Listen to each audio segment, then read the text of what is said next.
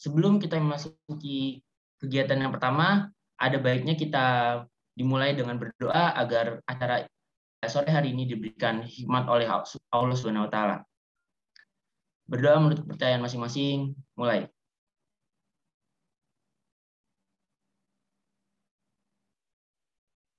Berdoa tidak pernah cukup. Baik, langsung saja tanpa berlama-lama lagi, kita langsung masuki kegiatan yang selanjutnya yaitu pemaparan SOP webinar kebumian pada sore hari ini. Pada panitia bisa dipersilahkan untuk share screen. Ya, kita juga mendefinisikan bahwa kritikal adalah uh, kategori part yang memang bisa dipasang dalam fungsikan ya, bahkan waktu itu ada sikapnya, sikap di mana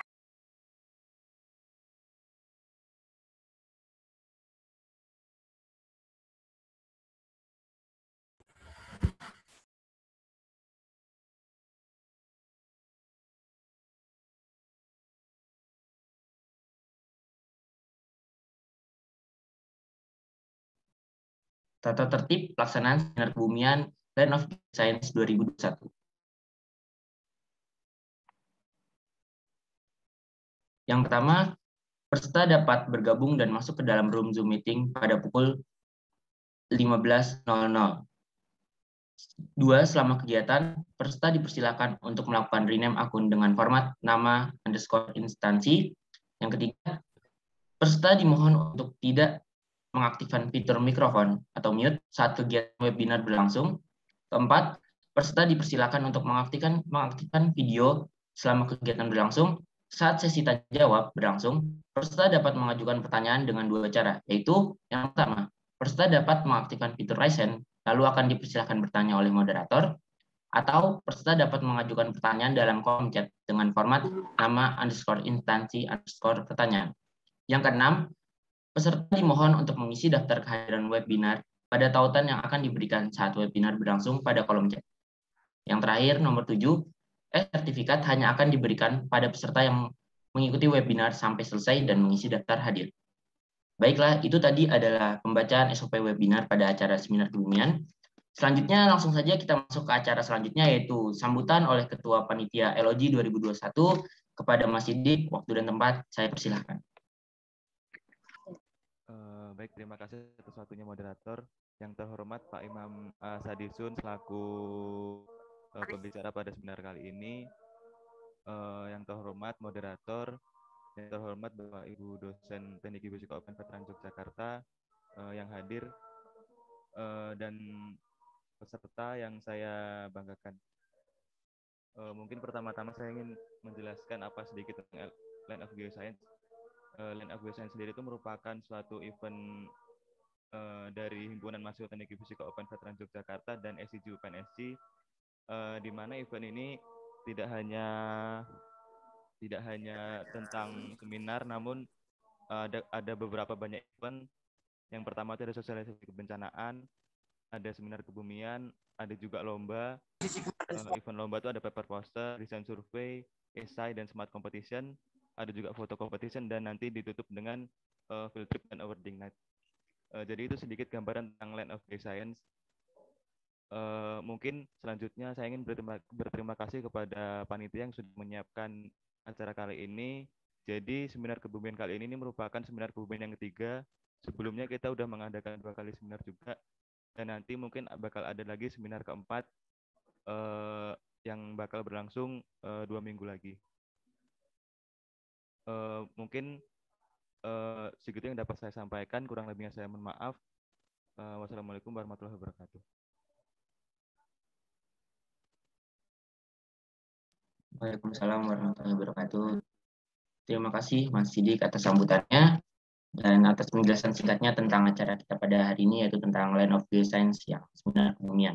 Selanjutnya acara akan dilanjutkan oleh sambutan ketua ketua webinar seminar kebumian kepada Mas Jihad, waktu dan tempat saya persilakan.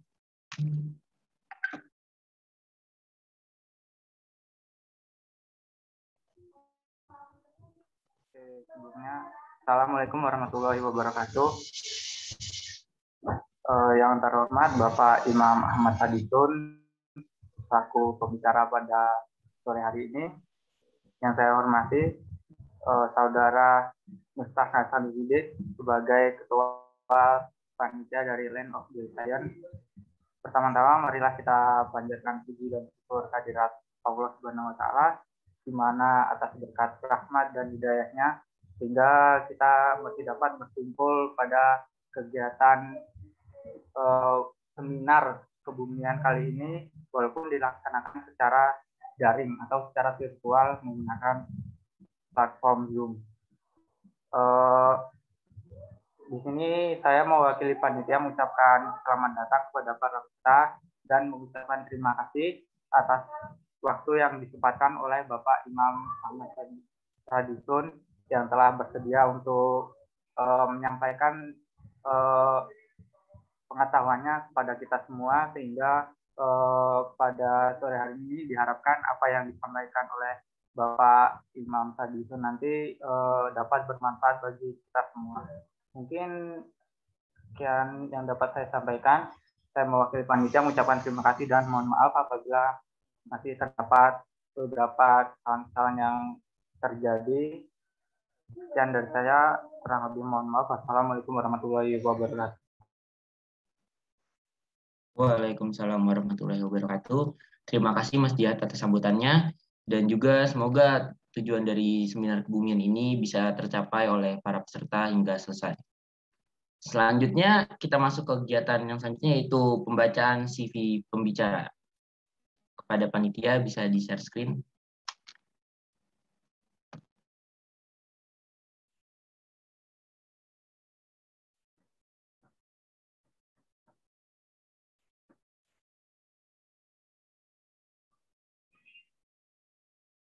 Baik, izinkan saya sebagai moderator untuk membacakan CV pembicara, itu Bapak Imam Ahmad Sadisun, Dr. NIR STMT, sebagai Associate Professor of Engineer Geology. Yang pertama, afiliasi dan aktivitas keprofesian. Yang pertama, anggota kelompok keilmuan geologi terapan, Fakultas Ilmu dan Teknologi Kebumian FITB ITB, Kepala Laboratorium Geologi Rekayasa, Fakultas Ilmu dan Teknologi Kebumian ITB, Koordinator Riset Longsoran, Pusat Penelitian Mitigasi Bencana ITB, anggota Dewan Pakar, Lembaga Riset Kebencanaan Ikatan Alumni ITB, anggota panel ahli Dam Operational Improvement and Safety Project Kementerian PUPR, anggota panel ahli Komite Keamanan Jembatan dan Terowongan Jalan Kementerian PUPR, Wakil Ketua 1 Ikatan Ahli Geologi Indonesia, Dewan Penasehat Masyarakat Geologi Teknik Indonesia, Ikatan Ahli Geologi Indonesia, Presiden National Group of Intelligent Associate of for Engineer Geology and the Environment, dan riwayat pendidikannya sarjana tahun 1995 dan magister 1998, Teknik Geologi Fakultas Ilmu dan Teknologi Kebumian ITB, Doktor 2000, tahun 2004, Earth Resource Engineer Graduate School of Engineer Kyushu University, dan Profesor Profesi Insinyur tahun 2020 Sekolah Pasca Sarjana ITB. Baik, berikut tadi adalah pembacaan CV pembicara dan langsung saja kita lanjutkan ke acara inti dari sore hari ini yaitu pemaparan materi oleh Bapak Imam Ahmad Sadisun. Kepada Bapak Imam, waktu dan tempat saya persilahkan.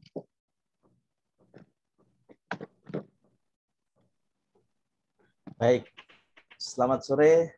Assalamualaikum warahmatullahi wabarakatuh. Waalaikumsalam warahmatullahi wabarakatuh. Waalaikumsalam warahmatullahi wabarakatuh. Uh, saya tes suara dulu nih, sudah terdengar cukup baik belum? Terdengar Pak. Dengar Pak. Baik, uh, sebentar. Saya juga yang kedua tentunya akan menggunakan slide dan saya coba untuk uh, slide saya dulu, slide show dulu ya. Uh, mohon izin untuk uh, slide show sudah bisa barangkali dan sudah terlihat. Sudah terlihat Pak. Baik, uh, terima kasih. Dan tentunya saya ulangi lagi untuk mengucapkan salam. Assalamualaikum warahmatullahi wabarakatuh Selamat sore, salam sejahtera selalu untuk semuanya. Dan uh, pertama dan yang utama semoga sehat semua untuk uh, kolega, rekan-rekan dan para mahasiswa yang hadir pada sore ini dan tentunya terima kasih yang uh, sebesar-besarnya nih untuk panitia yang mengundang saya untuk berbicara di acara seminar atau webinar, tepatnya Land of Geoscience. Saya tadinya bingung juga ini apa sih Land of Geoscience ini gitu ya. Pada akhirnya ada panitia yang menjelaskan, oh ternyata uh, satu kegiatan yang sangat menarik yang dibuat oleh para mahasiswa di teknik geofisika ya. Uh, walaupun demikian, terhormat, sangat terhormat bagi saya. Saya dari tadi sudah diperkenalkan ya, Eh, berlatar belakang geologi dan tentunya saya berharap ya geoscience kalau sebenarnya teman-teman sudah biasa memaknai ya adalah uh, terminologi yang digunakan baik uh, oleh geologis maupun uh, geofissis gitu ya yang menggabungkan diri ke dalam geoscience. Sehingga saya lihat wah ini topiknya sudah gabungan antara ahli geologi dan ahli geofisika. Baik, dan yang kedua, eh, langsung memang dari sisi topik yang diberikan, yaitu aspek geoteknik pada rekayasa batuan dan tanah untuk pembangunan berkelanjutan. Kebetulan memang dalam eh, beberapa kali presentasi juga eh, saya menyinggung hal tersebut, sehingga bagi saya ini kesempatan lagi untuk sharing ke teman-teman di uh, seminar ini dan mungkin ada beberapa uh, kolega yang pernah juga mengikuti seminar atau presentasi saya sebelumnya. Uh, maaf kalau memang ada hal yang saya ulangi lagi di sini gitu ya. Intinya saya tegaskan sebanyak mungkin hal-hal yang terkait dengan teknik ini bisa memberikan uh, guidance yang baik ya dalam hal pembangunan berkelanjutan sebagai kata kuncinya. Baik, uh, saya tidak akan berpanjang lebar dan mudah-mudahan cukup waktu ya untuk menyampaikan dalam waktu saya lihat nggak nyampe satu jam ini ya. Slide saya lumayan banyak. Mudah-mudahan nanti ada yang saya speed up sedikit ya. Tidak semuanya bisa saya uh, sampaikan dan silakan panitia uh, sudah saya beri file handout untuk materi ini bisa disebarkan juga.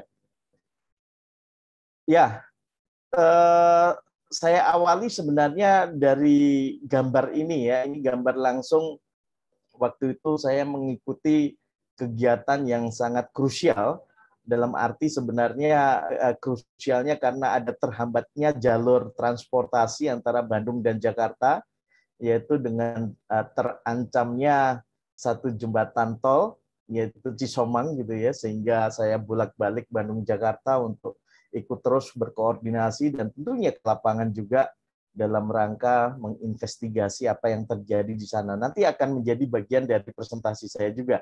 Ya, ini saya ceritakan saja sebagai cover di situ uh, pada saat saya melaksanakan investigasi lapangan. Nah, uh, sebagai yang berlatar belakang geologi, tentunya saya akan lebih banyak nanti bicara dari sudut pandang geologi. Mohon maaf nih ya Eh, tetapi saya pikir teman-teman eh, atau mahasiswa dari teknik geofisika bisa mengambil lah integrasinya melihat uh, infrastruktur ke depan ya melihat sebagai karakteristik batuan yang dan tanah ini bisa menjadi aspek penting yang perlu sekali diperhitungkan. Nah, dari sisi geologi teknik saya senang sekali menggunakan gambar ini di berbagai presentasi dan yang memang sengaja saya create gitu ya gambar ini ada dua kuadran di situ. Sisi yang kiri itu memperlihatkan bagaimana ahli geologi dan ahli geofisika mempelajari apa-apa yang ada di bumi ini. Dari materinya yang kita kenal sebagai solid dan uh, fluid materials ya atau geological materials di sana sebenarnya. Kemudian dari struktur ya, bagaimana juga di dalamnya termasuk uh, stratigrafi, tatanan Eh, tektonik dan sebagainya, maupun dinamika proses yang terjadi. Jadi bumi kita nggak pernah diam. Kita uh, pahami bahwa bumi kita itu selalu uh, bergerak, gitu ya. atau ada istilah the dynamic of the earth dan bumi kita nggak pernah tidur seakan-akan. Nah itu semua yang sebenarnya harus dipahami dalam kerangka nanti bagaimana kita bisa menerjemahkan ketiga aspek itu ke dalam berbagai kegiatan di kuadran kanan. Ya dari sisi geologi teknik memang ada beberapa yang eh, banyak dilakukan, tetapi dalam konteks kali ini saya akan lebih banyak mengelaborasi terkait dengan infrastructure development. Ya, ada sisi land use planning, ada sisi mitigation juga sebenarnya yang uh, dilakukan oleh geologi teknik dalam menerjemahkan hal-hal yang dipelajari di uh, sisi geologi.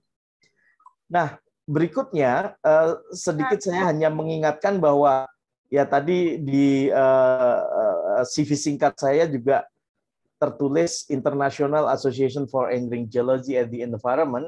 Ini tempat bernaungnya saya dalam dunia internasional ya, gabungnya ahli-ahli geologi dunia juga di sini.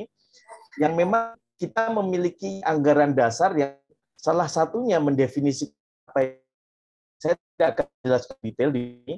Yang pasti uh, ada kaitannya dengan engineering dan environmental problems di sana dan memberikan solusi yang saya uh, beri warna merah yang sebenarnya ada uh, runtutan di sana dari investigasi, studi maupun solusi di situ. Dan bagian akhir juga sebenarnya ahli geologi teknik dengan jelas di sana didefinisikan uh, melakukan hal-hal yang terkait dengan geological hazard, ya aspek-aspek uh, geologi yang memang berpotensi meng, hasilkan uh, suatu kejadian yang kita sebut bencana nanti. Ini menjadi penting ya. Oke, okay. uh, salah satu slide yang biasa saya kemukakan dan uh, juga di situ ada satu kalimat yang sedikit uh, provokatif ya bagi saya mengapa ahli geologi dan geoscience pada umumnya itu diperlukan dalam hal pengembangan infrastruktur Eh, bisa terlihat di sini bahwa infrastruktur itu paling tidak menempati ke dalam tiga hal uh, konteks ya terkait dengan ah sudah dilingkari ini ya dengan uh, oleh audiens gitu ya. Uh, Oke, okay, silahkan menganotit ya. Yang pertama infrastruktur itu bisa add dalam konteks ini infrastruktur kita letakkan di uh, atas. Seakan-akan bagaimana kita menempatkan tanah dan batuan itu sebagai bearing capacity nanti ya. Sehingga kita harus memikirkan eh, daya dukung ya. Kalau tidak kuat ada teknik-teknik fondasi yang bisa digunakan. Ini juga kita bukan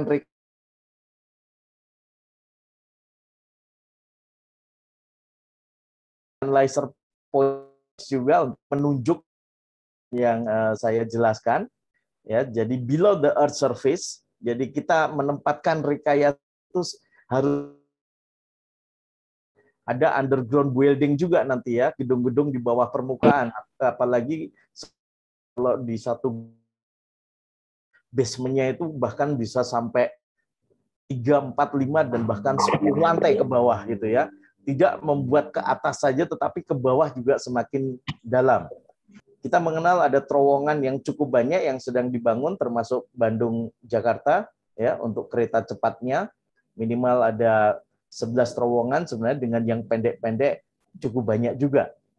Kemudian yang juga menarik ya untuk eh, selalu disimak adalah bagaimana setiap kegiatan infrastruktur itu akan membutuhkan material terutama batu dan tanah yang juga sebenarnya perlu dijaga dengan baik kualitasnya oleh seorang ahli geologi atau geoscience pada umumnya. Baik, uh, untuk menegaskan pentingnya geologi teknik dalam pembangunan infrastruktur, uh, saya juga senang menggunakan uh, dua rangkaian kata yang sebenarnya saya ambil dari Hoek dalam suatu kegiatan proyek-proyek besar infrastruktur. Nah, di sana dikatakan bahwa hal yang paling sering menyebabkan biaya dan schedule itu uh, bermasalah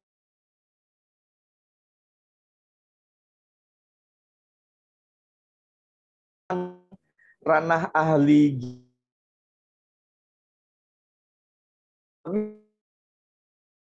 memiliki un, uh, atau non non destruktif menggunakan gelombang suara dengan menggunakan resistivity bahkan gravity dan sebagainya ya mencoba mengetahui bawah permukaan yang tidak terlihat sebenarnya ahli geologi juga merekonstruksi dari singkapan yang ada di permukaan sehingga masalah unforeseen condition ini kalau tidak bisa dikarakterisasi dengan baik, bisa jadi bermasalah nantinya.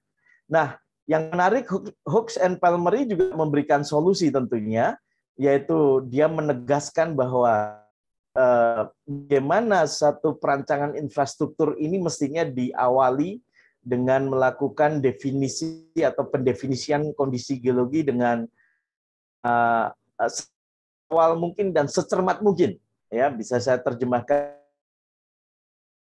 Nah, apa ini dilakukan?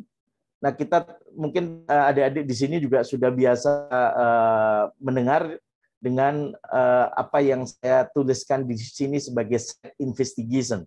Dalam bahasa Indonesia sering kali diterjemahkan sebagai pendidikan tapak gitu ya atau pendidikan uh, lahan atau pendidikan tanah. Atau juga menggunakan istilah geotechnical investigation ya penelitian geo. Dan satu kalimat yang sedikit provokatif ada di bawahnya di situ ya tanpa investigasi sebenarnya kita menciptakan bahaya ya without said investigation ground is hazard baik satu hal lagi saya pikir ini menjadi titik tolak yang menarik bagaimana menggabungkan berbagai metode dalam investigasi. Ya, saya tuliskan di sini dalam set investigasi eh, mestinya eh, gabungan antara berbagai keahlian terutama geoscience di dalamnya ya, ada ahli geologi, ahli geofisika dan juga teman-teman dari teknik sipil, pertambangan itu juga bisa mengintegrasikan sehingga bagaimana kondisi bawah permukaan ini menjadi bisa kita definisikan dengan baik. Eh, sedikit saya menguraikan, tapi sebenarnya nggak akan terlalu detail pentingnya investigasi ini dan ini menjadi bahan perkuliahan juga sebenarnya ya. Manakala saya mengajak diskusi mengenai pentingnya investigasi ini. Karena bagi saya investigasi ini menjadi guidance awal yang sangat penting bagi uh, tujuan yang sangat mulia nanti yaitu sustainability ya. Kita lihat bagaimana investigasi itu bisa memberikan Eh, fondasi yang cukup kuat.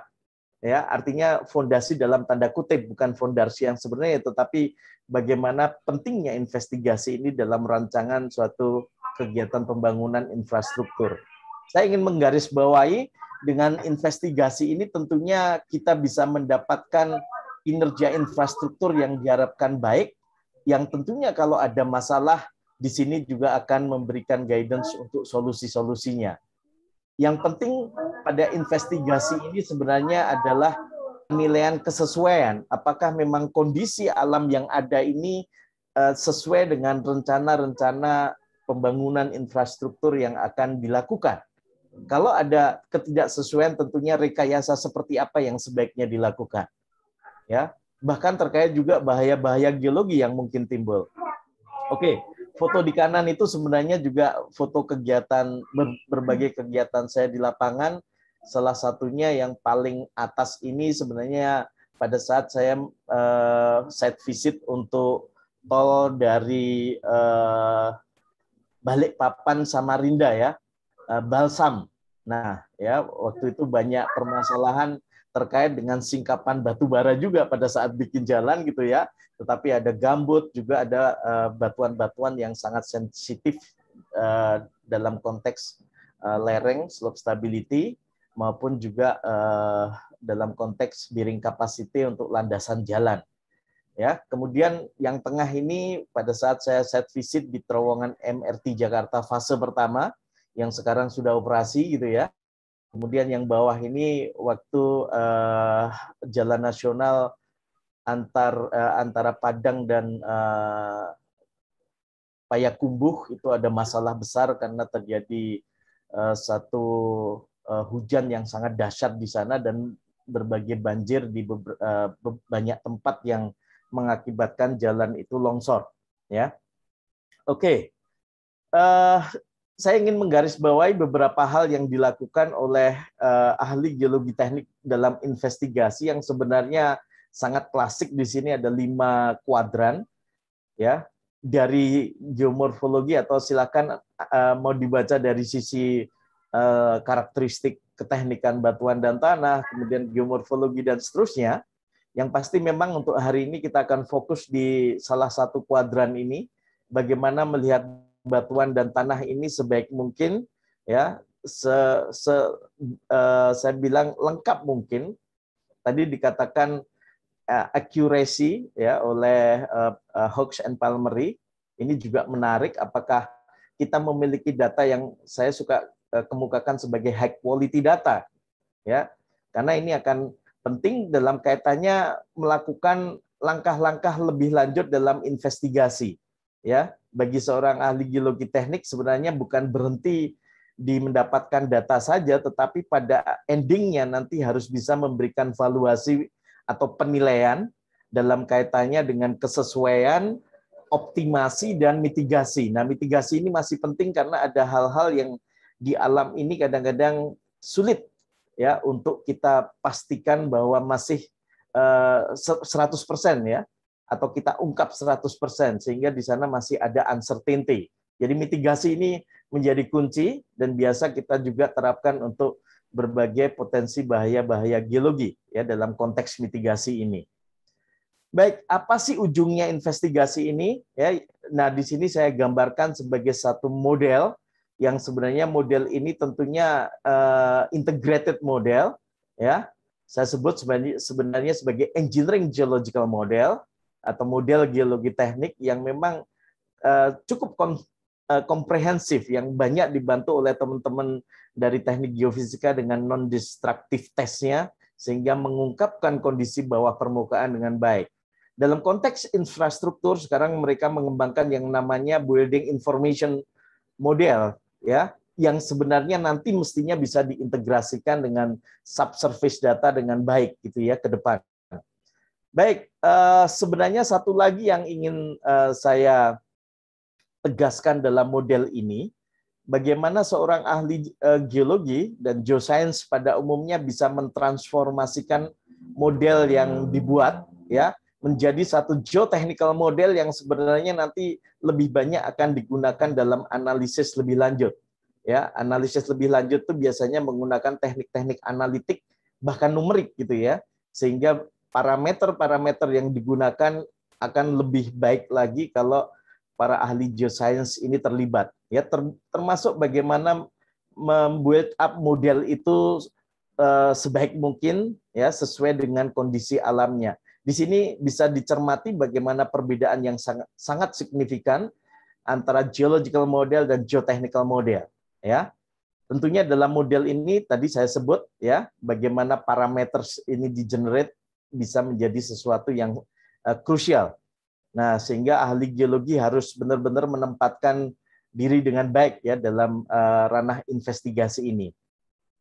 Baik, uh, berikutnya ya saya akan sedikit memberikan gambaran terkait dengan berbagai kegagalan konstruksi. Biasanya memang kita itu dibuat sadar oleh kegiatan Eh, kejadian-kejadian yang mengakibatkan kita terbelalak untuk mengatakan bahwa geoscience itu penting dalam pengembangan infrastruktur atau pembangunan pada umumnya.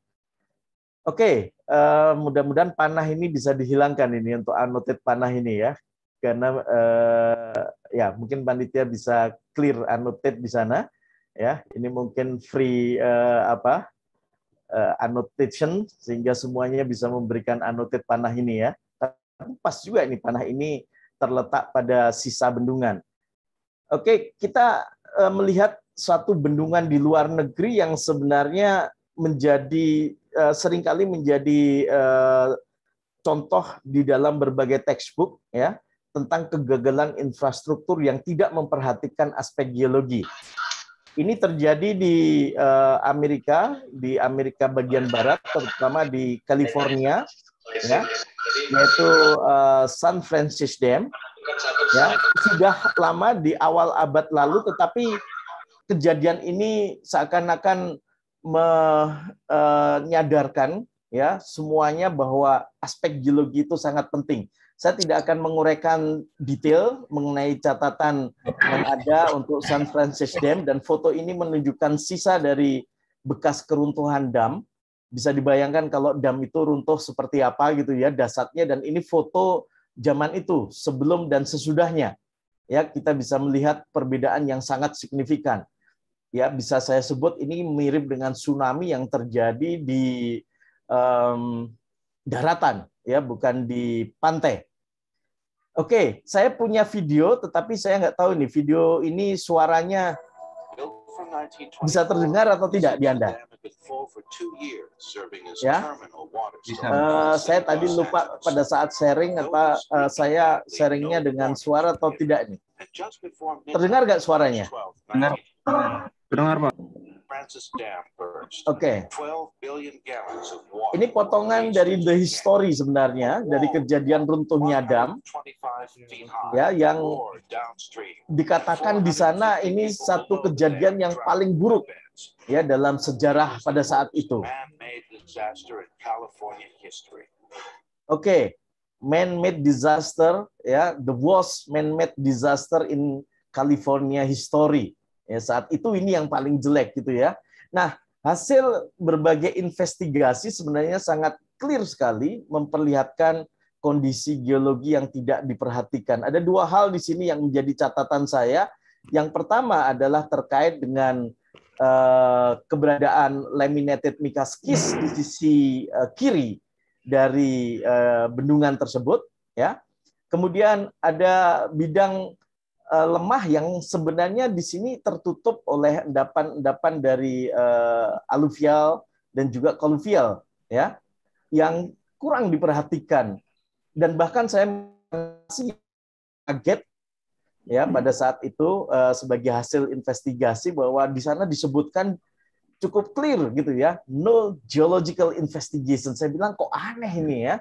Satu dam yang sangat besar dan pada saat itu mungkin ya tahun 2 829 mungkin belum terlalu ini ya mereka concern terhadap aspek geologi tetapi keterlaluan kalau saat ini terjadi ya. Dan ini menjadi pembelajaran bukan hanya di Amerika banyak di textbook juga dikemukakan. Nah bagaimana dengan Indonesia? Ya saya suka menggunakan salah satu contoh yang mungkin nggak tahu nih generasi sekarang tahu nggak? Yaitu uh, kegagalan uh, konstruksi P3ON uh, ON Hambalang ya. P3SON Hambalang ya kepanjangannya bisa dibaca di sana. Nah, uh, mungkin unsur politiknya juga cukup santer gitu ya, tetapi saya tidak akan mengajak uh, ke sana ya. Kita lihat apa yang sebenarnya bagi uh, teman-teman di geologi dan geoscience pada umumnya sudah terbiasa melihat ya.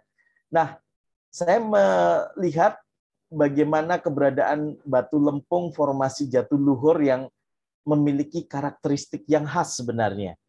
Meskipun batuan dengan kuat tekan di atas 1 megapascal bahkan bisa sampai hampir 20 megapascal ya, betapa besarnya gitu ya dibanding tanah yang kekuatannya di bawah 1 megapascal, tetapi dia bisa mengalami degradasi yang cepat.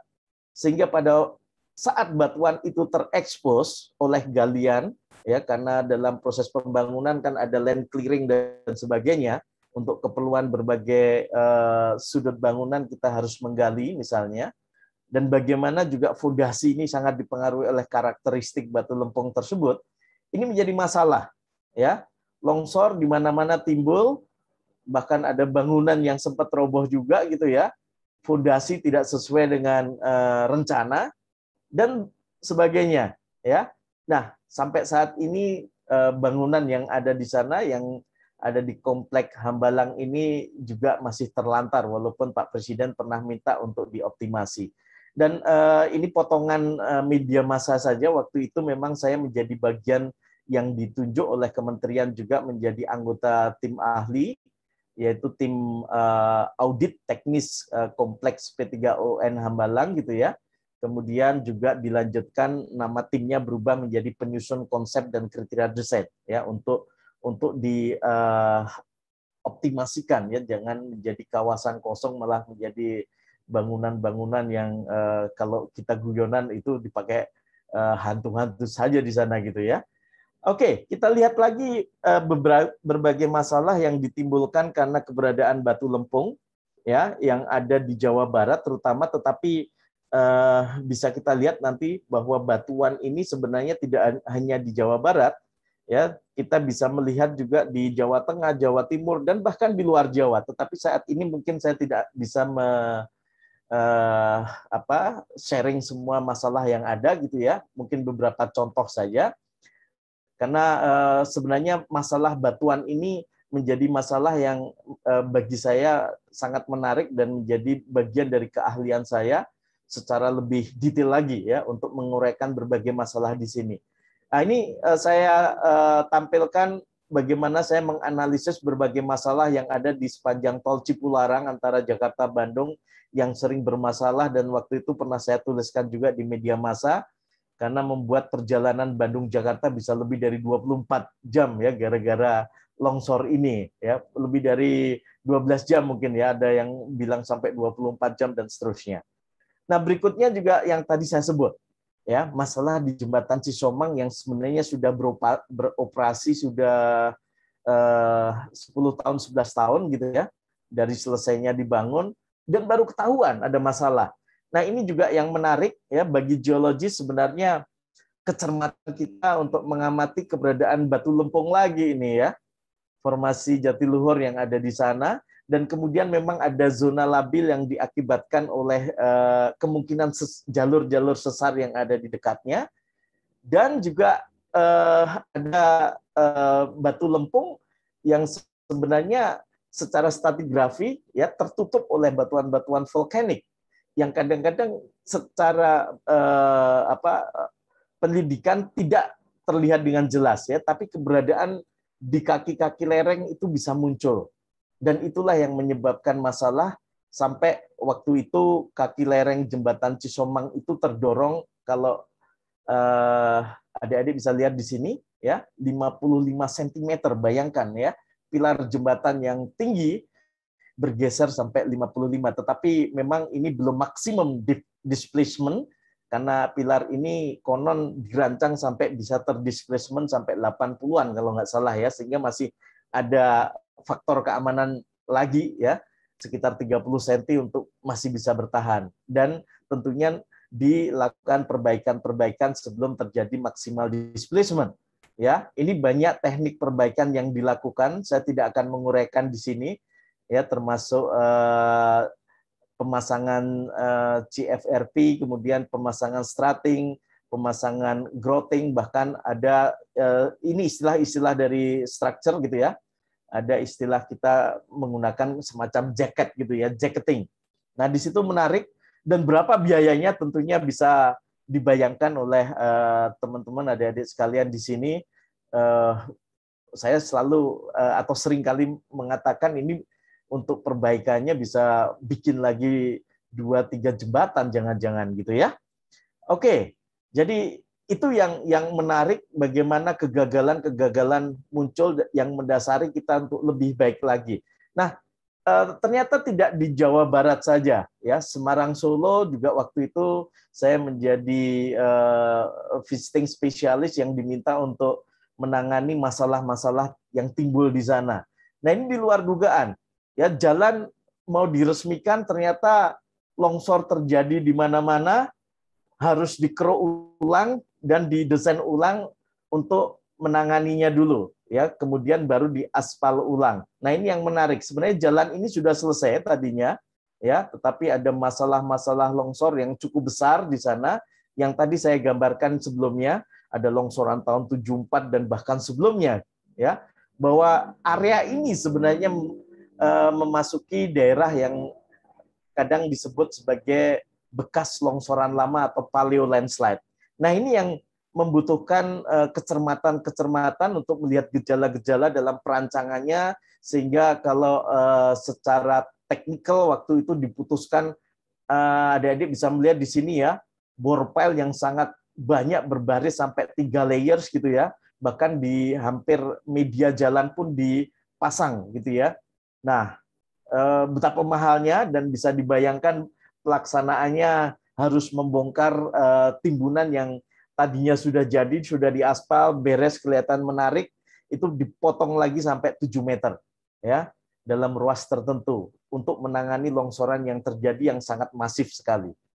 Oke, ya. Jadi ini semua didesain ulang, dirancang ulang dengan berbagai analytical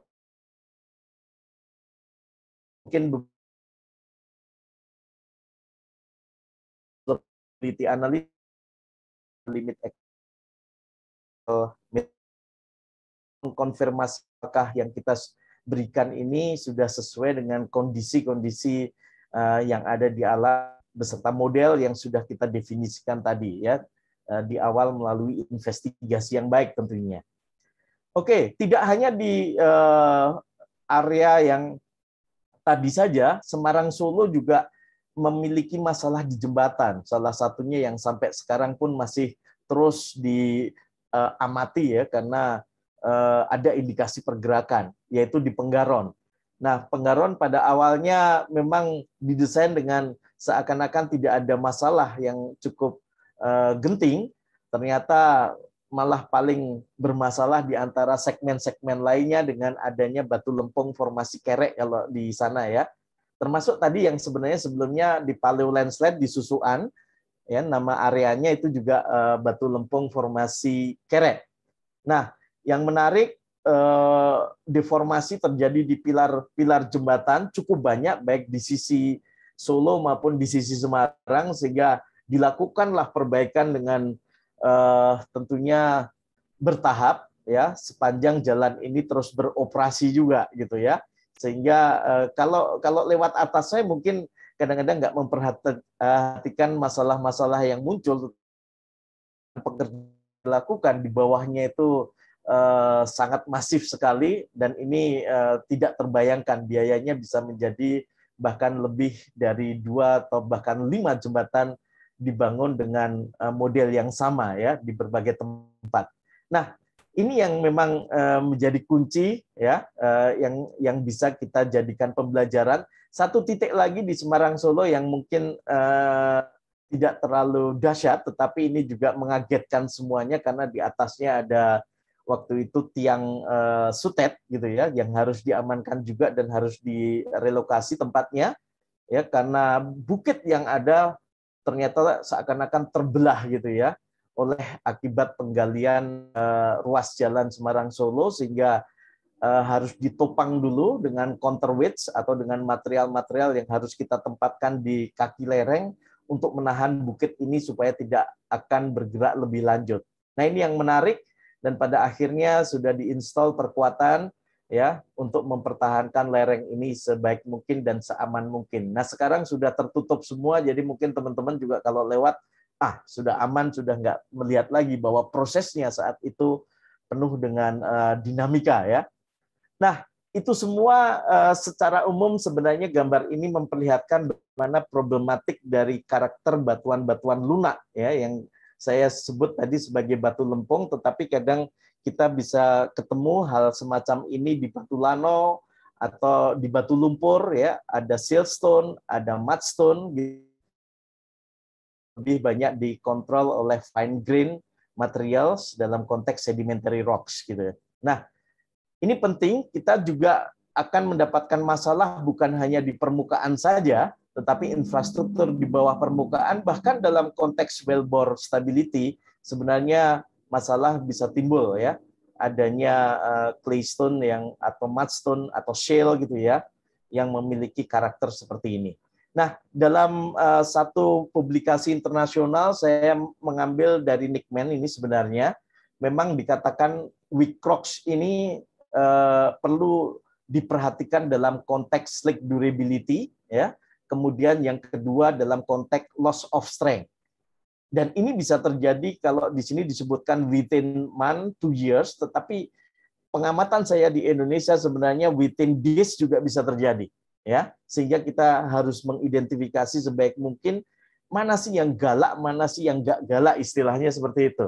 Yang years mungkin oke, okay, efek yang terjadi bisa tahunan, 10 tahunan, 20 tahunan, tapi umur bangunan kan biasanya kita rancang kalau nggak 50, 100 tahun misalnya ya antara itu kebanyakan sehingga kita harus memikirkan long term atau sustainability sebagai kata kunci. Nah, ini uh, proses yang terjadi yang saya gambarkan secara cepat ya. Proses yang ada, kerusakan yang ada. Jadi batu batu tapi bisa seperti ini. Ya. Ini yang menarik ya sehingga apa sih sebenarnya faktor geologi yang membuat batuan bisa uh, terdegradasi begitu cepatnya? Bahkan tadi kalau ini 6 detik itu ya, uh, tapi nggak seperti itulah ya, biasanya dis gitu ya skala waktunya. Nah, uh, ada dua hal yang sebenarnya ingin saya garis bawahi ya. Uh, sebagai penyebab utama, tapi kalau saya deret penyebabnya bisa 10 lebih sebenarnya ya. Tapi yang mengemuka sering kali dua hal ini yaitu adanya rilis stres ya. Yang kedua terkait dengan apa yang banyak dipelajari di geoscience yaitu mineralogi terutama terkait dengan expansive clay minerals di sini. Nah, ada teknik-teknik dari sisi geologi yaitu dengan scanning elektron mikroskop, yang kedua dengan uh, sorry, yang atas dengan uh, SEM yang bawah dengan XRD ya untuk melihat karena ini clay minerals dan yang berbahaya adalah yang berpotensi ekspansif sehingga kita harus dengan baik ya memperhatikan mana yang uh, ber, uh, berpotensi ekspansif dalam konteks uh, uh, batu lempung ini ya. Oke, berikutnya saya ingin memperlihatkan bagaimana kita menguji apakah batu lempung ini memiliki karakter degradasi yang cepat atau lambat yang biasanya pengujiannya disebut sebagai uh, slacking test ya secara umum uh, slacking test ini dibagi menjadi dua static and dynamic slacking test ya sehingga kita bisa melihat berbagai slacking test sebenarnya di dunia ini sudah ada ya. Yang uh, distandarkannya uh, memiliki standar pun sudah ada juga ya. Yang dibuat atau distandarkan oleh International Society for Rock Mechanics ya ISRM di sini. Kemudian standar nasional yang banyak diacu dari Amerika misalnya ASTM. Nah di situ ada slick durability test ya. Mungkin ada sebagian adik-adik di pernah melakukan tes ini.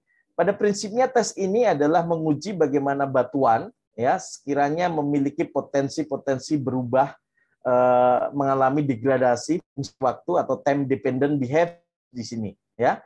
Nah, ini yang menarik karena kita tidak bisa melihat eh, sifat yang eh, kita sesaat saja, tetapi kita akan memperhatikan perilaku dalam waktu-waktu ke depan apakah memungkinkan dia berubah atau tidak.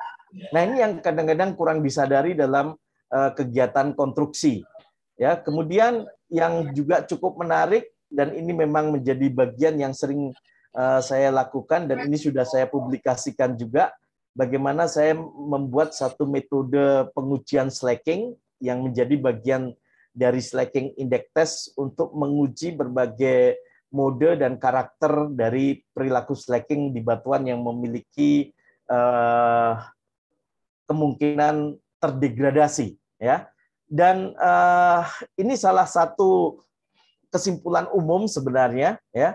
Kalau kita memperhatikan degradasi pada batu lempung atau fine grain sedimentary rocks pada umumnya, kita bisa mendapatkan masalah itu dalam jangka pendek yang disebut sebagai immediate stability problem. Kalau batuannya itu memang mudah sekali terdegradasi dalam skala days ataupun weeks ya ataupun man di situ ya tetapi suatu saat kita bisa juga mendapatkan long term behavior ya dan uh, yang terjadi adalah long term stability problem ya yang diakibatkan oleh degradasi yang memang muncul mungkin beberapa tahun ya atau beberapa puluh tahun ke depan tetapi dalam rentang waktu umur konstruksi ini sun ya akan menjadi bagian yang perlu diper perhatikan karena bisa membahayakan konstruksi itu sendiri. Nah, ini biasanya saya uji uh, terkait dengan berapa lama retakan itu bisa kita identifikasi gitu ya.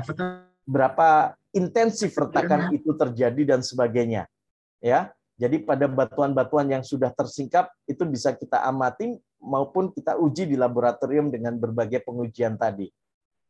Oke, nah Hal yang menarik adalah batuan ini secara alamiah pasti mengalami pelapukan dan pelapukan itu menghasilkan satu tanah yang kita sebut sebagai tanah residual ya atau residual soil.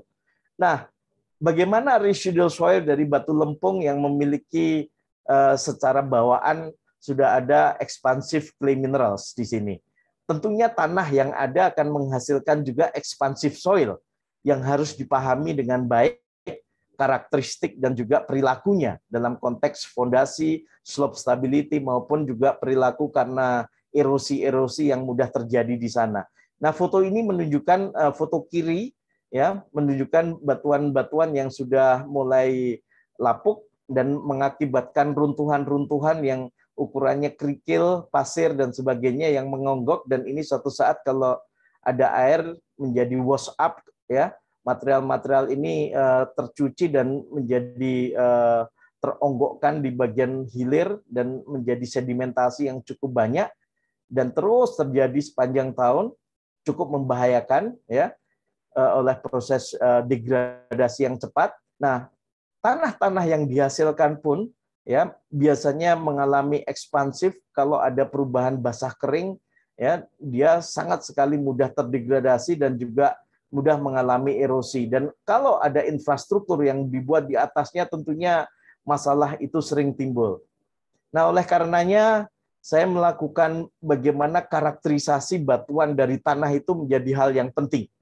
Bukan hanya kita bicara di batuan, tetapi kita juga harus mengidentifikasi bagaimana perubahan itu terjadi dan akan mengakibatkan perubahan pada kekuatannya.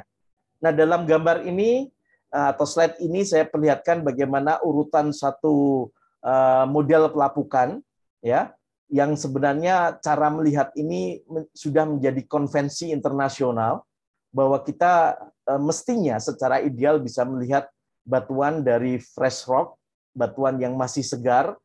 Saya tulis sebagai WG1, kemudian ada WG2 di sini yang mewakili weathering grade 2 atau nama yang sering digunakan adalah slightly weathered rocks ya.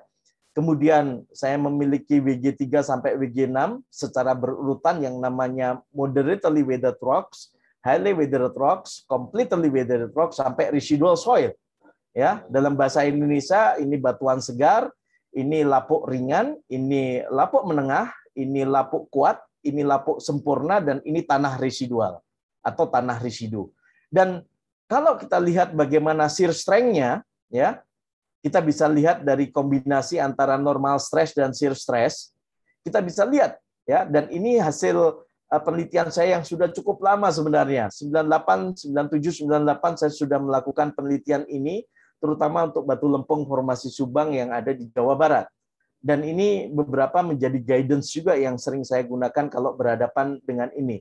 Terakhir saya mencoba untuk membandingkan dengan batu lempung yang ada di rencana ibu kota kita ya di uh, Kalimantan Timur sebenarnya yang banyak sekali perilaku-perilaku fine grain sediment rocks yang harus kita waspadai. Nah, secara uh, uh, menarik juga bagi saya Badan Geologi ini mungkin banyak teman-teman atau mahasiswa yang belum tahu ya atas dasar tersebut Badan Geologi juga sebenarnya sudah mengeluarkan atas uh, satu atlas ya, atlas sebaran batu lempung bermasalah. Dan ini bisa menjadi guidance yang baik ya dalam uh, perancangan konstruksi atau perencanaan konstruksi secara umum. Saya perlihatkan untuk Jawa Tengah dan Jogja lah ya, di mana uh, teman-teman banyak uh, beredar di sana kan ya untuk kali ini. Nah, itu sudah digambarkan dengan baik yang warna hijau itu. Sehingga bagaimana kegiatan konstruksi nanti akan dibuat ya melalui warna-warna hijau ini penting sekali untuk dikaji dengan seksama gitu ya. Batu lempung bermasalah, orang petanya sudah dibuatkan tetapi harus ada kajian-kajian lebih lanjut. Nah, demikian halnya dengan tanah lunak sebenarnya. Ya, Badan Geologi sudah mengeluarkan atlasnya juga di mana ini menjadi guidance penting juga ya untuk melakukan kajian secara seksama kalau infrastruktur Anda semuanya nanti melalui tanah-tanah yang sudah masuk dalam kategori tanah lunak yang atlasnya sudah diberikan oleh Badan Geologi. Oke, eh, bagian terakhir saya akan sedikit meng-highlight saja sebagai penutup ya. Uh, saya yakin teman-teman tahu mengenai gambar ini dan sangat populer sekali ya sejak tahun 2015 sampai sekarang dan ini memang dicanangkan sampai 2030 ya yang menjadi tujuan dunia yaitu Sustainable Development Goal atau tujuan pembangunan berkelanjutan ya yang disepakati di markas PBB saat itu dan bagaimana kita sebagai uh, masyarakat geoscience juga terlibat di dalamnya ini menjadi satu uh, encouraging yang sangat menarik ya yang harus juga didukung oleh semuanya saya pikir. Nah, saya sedikit mengambil dari uh, papernya Gales tahun 2017 ya. Ada banyak aspek yang sebenarnya uh, bisa melibatkan geologi dalam kaitannya dengan Sustainable Development Goals atau SDGs ini ya. Nah, uh, yang membuat saya cukup bangga karena engineering geology ini uh, menjadi salah satu bagian penting. Ya walaupun di sini ada geological hazard ya atau geohazard yang juga geologi uh, geologi teknik ya bermain juga di dalamnya. Ya jadi di sini yang uh, saya garis bawahi ya tentunya uh, geologi teknik yang menjadi sub keahlian di geologi yang saya dalami saat ini kemudian juga uh, bagaimana geohazard menjadi satu bagian yang penting dalam mendukung uh, keberhasilan untuk pencapaian SDGs ini. Ada tiga yang utama yang saya mention di situ, yaitu SDG 9 terkait dengan infrastruktur, ya, industri dan inovasi, yang memang penting menggait bagaimana infrastruktur ini bisa diciptakan secara tangguh dan berkelanjutan. Kemudian ada SDG 11 itu terkait dengan uh, bagaimana kita menciptakan urban area yang memang di sana uh, diangkat bagaimana urban area ini bisa menjadi inklusif melibatkan juga uh, masyarakat yang tinggal kemudian aman dan tangguh serta berkelanjutan.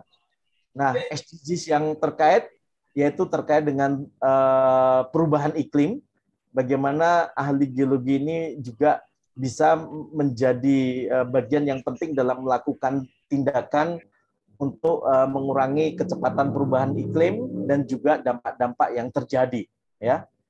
Nah, ini penting dan uh, saya pikir ini menjadi bagian yang harus didukung bersama ya. Dalam hal ini adik-adik sekalian yang saat ini sedang belajar, saya pikir ke depan nanti juga menjadi uh, uh, force yang sangat penting gitu ya untuk menciptakan uh, suksesnya uh, pencapaian SDGs ini. Nah, saya uh, suka sekali melihat media massa yang mulai juga membawa berita-berita terkait dengan pentingnya geologi dan ini media yang saya ambil relatif terbaru ya tahun-tahun 2001 dari berbagai media massa. Ini eh, eh, berita-berita tahun 2001 saya yang saya pilih tentunya.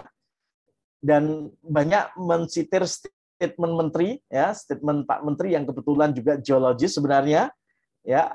Arti pentingnya geologi dan terutama geologi teknik di sini. Ya. Di sini uh, kalau ini sebenarnya statement saya yang uh, waktu itu dimuat di media Indonesia ya. Saya mengatakan 11 dari 17 SDGs memerlukan peran Anda semua search, Anda baca, di situ Anda akan melihat urean saya terkait dengan 11 aspek ini.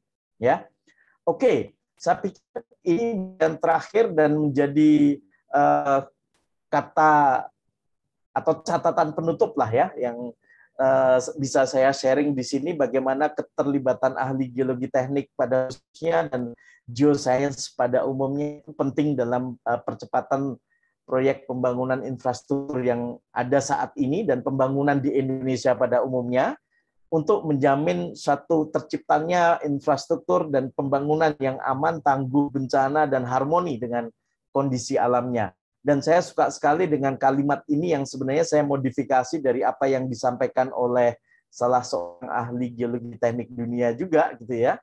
Sejauh mana bumi ini penting ya data-data geologi gunanya itu menjadi penting ya untuk para uh, ahli atau engineers menciptakan infrastruktur yang harmonis dengan alam dengan kata lain infrastruktur dan pembangunan pada umum berkelanjutan. Saya pikir itu saja sharing saya sore ini. Mudah-mudahan bisa memberikan uh, pemahaman yang cukup baik akan pentingnya terutama dari sudut pandang bagaimana kita melihat batu dan tanah menjadi satu kesatuan yang bisa kita uh, definisikan dalam konteks karakterisasi maupun investigasi uh, geologi dan geoscience pada umumnya. Terima kasih atas perhatiannya. Cukupkan. Wassalamualaikum warahmatullahi wabarakatuh.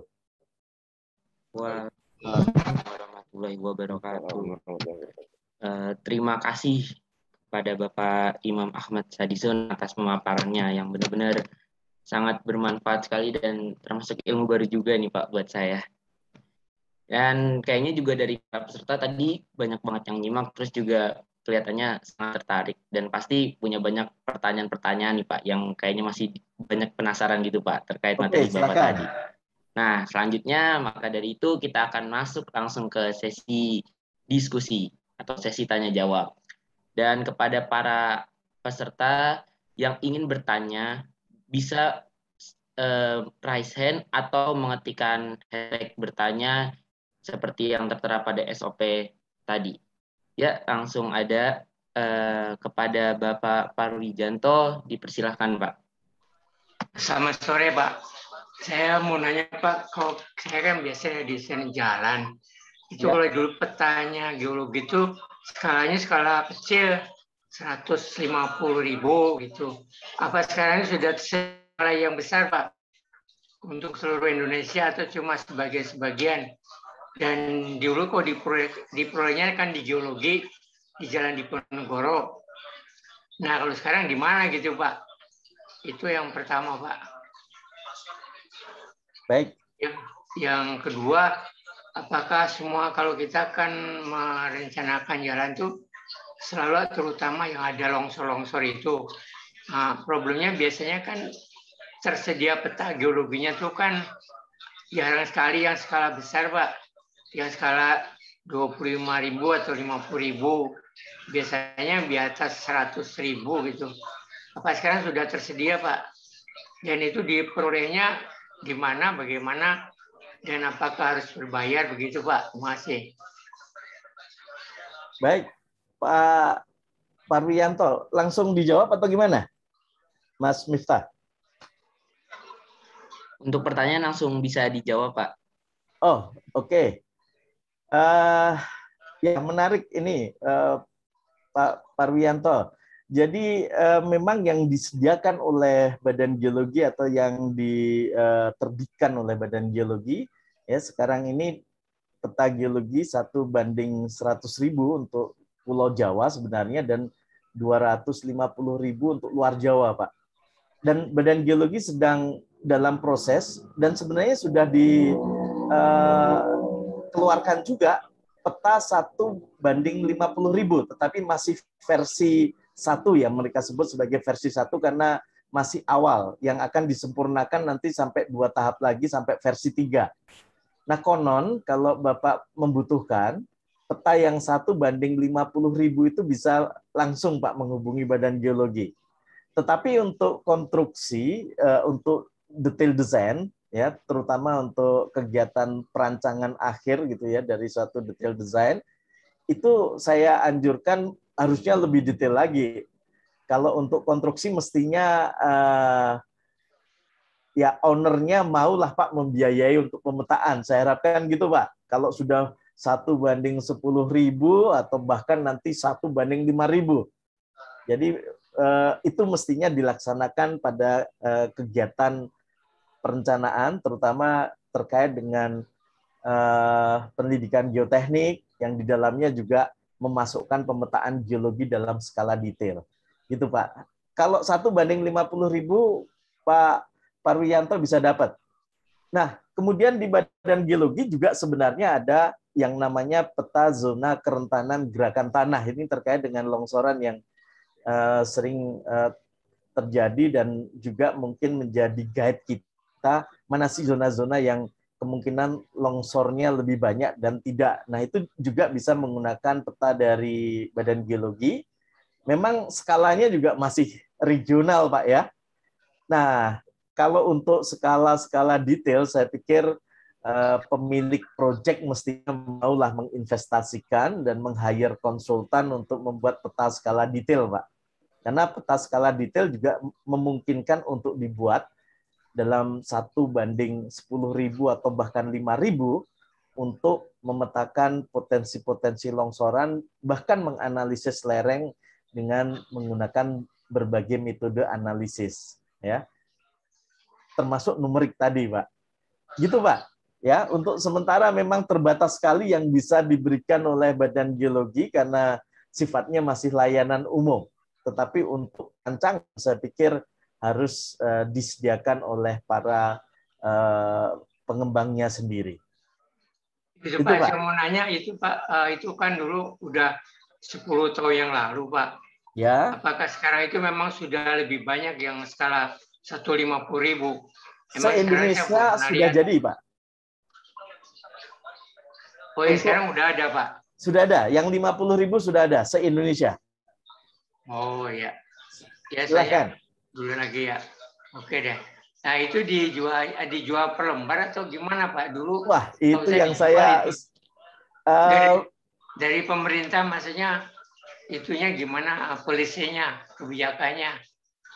Saya sendiri nggak pernah menjajaki, hanya kalau dari institusi atau perguruan tinggi mau menggunakan untuk keperluan penelitian, ya ini mungkin adik-adik mahasiswa nanti juga banyak yang butuh gitu ya. Uh, mungkin dengan menyurat saja sudah cukup dengan menggunakan Eh, bisa mendapatkannya secara bebas. Untuk kebutuhan penelitian Pak ya. Bukan untuk kebutuhan komersial. Saya nggak tahu kalau untuk kebutuhan komersial ya. Mungkin ada biaya dan sebagainya. Gitu Pak. Oke deh. Terima kasih Pak. Oke. Sama-sama Pak Parianto baik. Terima kasih Pak Pak Parwijanto. Dan selanjutnya pertanyaan selanjutnya eh, dipersilakan kepada Mas Alvito Abdul Goni. Uh, baik, uh, izin masuk. Apakah suara saya terdengar? Terdengar. Ah, oke. Okay. Perkenalkan Pak Imam, nama saya Alvito Abdul Goni dari Teknik Geofisika UPN Veteran Yogyakarta angkatan 2020. Saya mau izin bertanya Pak. Kan saya di sini sebagai mahasiswa geofisika gitu di UPN Veteran. Terus juga mau bertanya terkait apa peran penting seorang ahli geofisika dalam geologi teknik ini dan apa saja yang perlu saya pelajari sebagai mahasiswa teknik geofisika untuk fokus di geoteknik ini gitu Pak. Terima kasih. Mungkin bisa dijawab Pak Imam. Oke, ya. Uh, Mas Alvito ya panggilannya ya? Iya Pak. Ya, sebenarnya di sini tadi uh, ada satu kalimat yang saya masukkan memang ya. Uh, bagaimana kita mengintegrasikan dalam pendidikan geoteknik ini metode-metode yang digunakan oleh ahli geologi, kemudian metode-metode uh, yang dikembangkan oleh para uh, para ahli di teknik geofisika gitu ya, termasuk juga uh, berbagai pengembangan metodenya maupun penerapannya di sana, dan juga metode yang banyak juga digunakan oleh ahli-ahli dari teman-teman uh, teknik sipil maupun pertambangan ya, dalam kaitannya dengan pengeboran misalnya atau penggunaan data nitrometer test yang langsung dilakukan di lapangan. Nah, teman-teman di teknik geofisika itu mestinya sangat uh, piawai untuk menggunakan berbagai metode uh, geofisika yang ada. Nah, dalam infrastruktur biasanya atau paling banyak ya kita menggunakan metode resistivity atau geolistrik ya Nah, karena itu murah meriah. Kemudian ada juga yang kedua georadar misalnya. Ya, dengan pengaturan uh, uh, frekuensinya kita bisa melihat sejauh mana kedalaman yang kita bisa karakterisasi dengan georadar. Nah, kalau membangun bendungan, kemudian jembatan ya yang memang membutuhkan konstruksi-konstruksi khusus, nah biasanya eh, menggunakan refraksi, seismik refraksi maksud saya, ya. Karena ini menjadi kewajiban pengembang untuk melakukan itu. Karena uh, bisa dibayangkan kalau dam ya kita tidak pahami bawah permukaan dengan baik ya eh, itu sangat berbahaya. Sehingga seismik refraksi itu menjadi kewajiban. Jadi eh, pasti nanti eh, pengembang akan mencari gitu ya konsultan yang bisa melakukan itu dengan baik gitu ya, jangan khawatir sehingga metode seismik refraksi akan digunakan. Nah, metode lain ya sebenarnya terkait dengan misalnya karakterisasi bawah permukaan untuk untuk uh, perancangan gempa bumi atau bangunan tahan gempa dan sebagainya ya downhole seismic, cross hole seismic dan sebagainya itu masih digunakan juga. Ya. Jadi banyak metode-metode geofisika yang sebenarnya diaplikasikan ya dalam perancangan atau uh, investigasi geoteknik atau pendidikan geoteknik untuk uh, diintegrasikan dengan data bor, untuk diintegrasikan dengan data pemetaan sehingga menjadi satu kesatuan model bawah permukaan yang baik. Jadi itu, Mas Alvito. Yang penting Anda sekarang kuasai dulu aja metode-metode itu dan nanti akan penting dan banyak digunakan. Oke, siap. Terima kasih Pak Imam. Ini PPT-nya bagus banget Pak materinya Pak. Terima kasih Pak. Oke, sama-sama. Baik, terima kasih Mas Alvito atas pertanyaannya. Selanjutnya kita ada pertanyaan dari kolom chat yaitu dari Muhammad Rio dari Institut Akprin Yogyakarta. Pertanyaannya itu mengenai tanah atau batu lempung yang mempunyai sifat ekspansif, apakah ada treatment khusus mengenai sifat tanah tersebut apabila material tersebut akan digunakan untuk fondasi inti bendungan? Karena secara nilai PI dan LL-nya masuk ke dalam spek yang dibutuhkan karena sifat ekspansif ini tentunya memerlukan perhatian tersendiri. Terima kasih sebelumnya, Pak. Ya, uh, ini sepertinya sudah tahu nih Mas Rio ya, uh, bahwa dalam satu bendungan kita butuh yang namanya core ya, atau inti lempung yang biasa menjadi lapisan uh, kedap air ya yang digunakan. Dan memang sebenarnya yang diharapkan bukan ekspansif clay minerals yang ada di sana ya sehingga akan lebih banyak kaolin dan elite-nya gitu. Tapi kalau montmorillonate ya mudah-mudahan tidak yang uh, natrium montmorillonate gitu ya. Nah, kita bisa melakukan treatment-treatment ya terkait dengan uh, expansive uh, clay minerals, terutama expansive soil gitu ya. Biasanya kita mencampur dengan uh, uh, apa? Sebutannya saya kok lupa. Lime powder ya. Atau powder dari uh, kapur. Oke, ini salah satu yang yang sederhana sebenarnya yang banyak digunakan. Dan bahkan kita juga bisa mix dengan sisa uh, abu terbang batu bara misalnya atau fly ash ya yang yang kemarin sudah diturunkan bukan menjadi eh, limbah B3 ya dalam konteks konstruksi sebenarnya banyak teman-teman yang mencoba juga ya untuk mengurangi uh, ekspansivitas dari, dari uh, expansive soil itu atau kita menggunakan bahan-bahan uh, aditif lainnya ya. Tetapi sebenarnya untuk uh, clay core dalam dams itu uh, kita menghindari Eh, penggunaan lempung-lempung yang ekspansif. Ya, lebih baik kita mencarikan lempung-lempung yang eh, lebih banyak di uh, apa kandungannya kaulinit, ilit dan sebagainya yang non expansive clay minerals. Saya kira itu. Walaupun kalau ketemu hanya satu-satunya ekspansif ya kita harus treatment dulu lah gitu ya dengan berbagai penanganan dan harus ada trial dulu sebelum diuji cobakan langsung atau diimplementasikan langsung ya eh, intinya melakukan mix trial dengan tadi bahan-bahan pencampur. Ya, Baik, itu Pak. jawabannya. Mudah-mudahan ya. sudah menjawab. Iya, Pak. Eh, terima kasih Mas Rio ini dari Institut Akprin Yogyakarta atas pertanyaannya. Selanjutnya kita juga ada pertanyaan dari kolom chat dari Irfan Sumantri Universitas Diponegoro. Ini pertanyaannya cukup banyak nih Pak. Oke. Okay. Uh, eh, saya bacakan satu persatu lalu langsung dijawab atau saya bacakan semuanya dulu, Pak? Uh, satu persatu aja ya. Okay, biar Pak. lebih ba lebih baik ya. Iya, okay. Pak. Oke, ini untuk yang pertama itu untuk menghadapi kondisi geologi yang tersusun oleh batuan yang mudah ekspansif dan slacking, jenis metode analisis apakah yang tepat yang kita gunakan untuk mengetahui nilai faktor keamanan stabilitas lereng ataupun terowongan? Oke, uh, ini yang menarik ya. Uh, memang ini juga dijumpai dan sekarang juga menjadi bagian yang diterapkan juga untuk membuat terowongan di batuan-batuan yang memiliki perilaku slacking ini. Jadi eh, Mas siapa Irfan tadi ya, kalau pernah mendengar istilah span misalnya, span itu jarak ya galian eh, bisa span itu sebenarnya lebar eh, perbandingan lebar terowongan gitu ya dengan galian atau jarak terakhir dari bagian dari galian yang belum diperkuat gitu ya.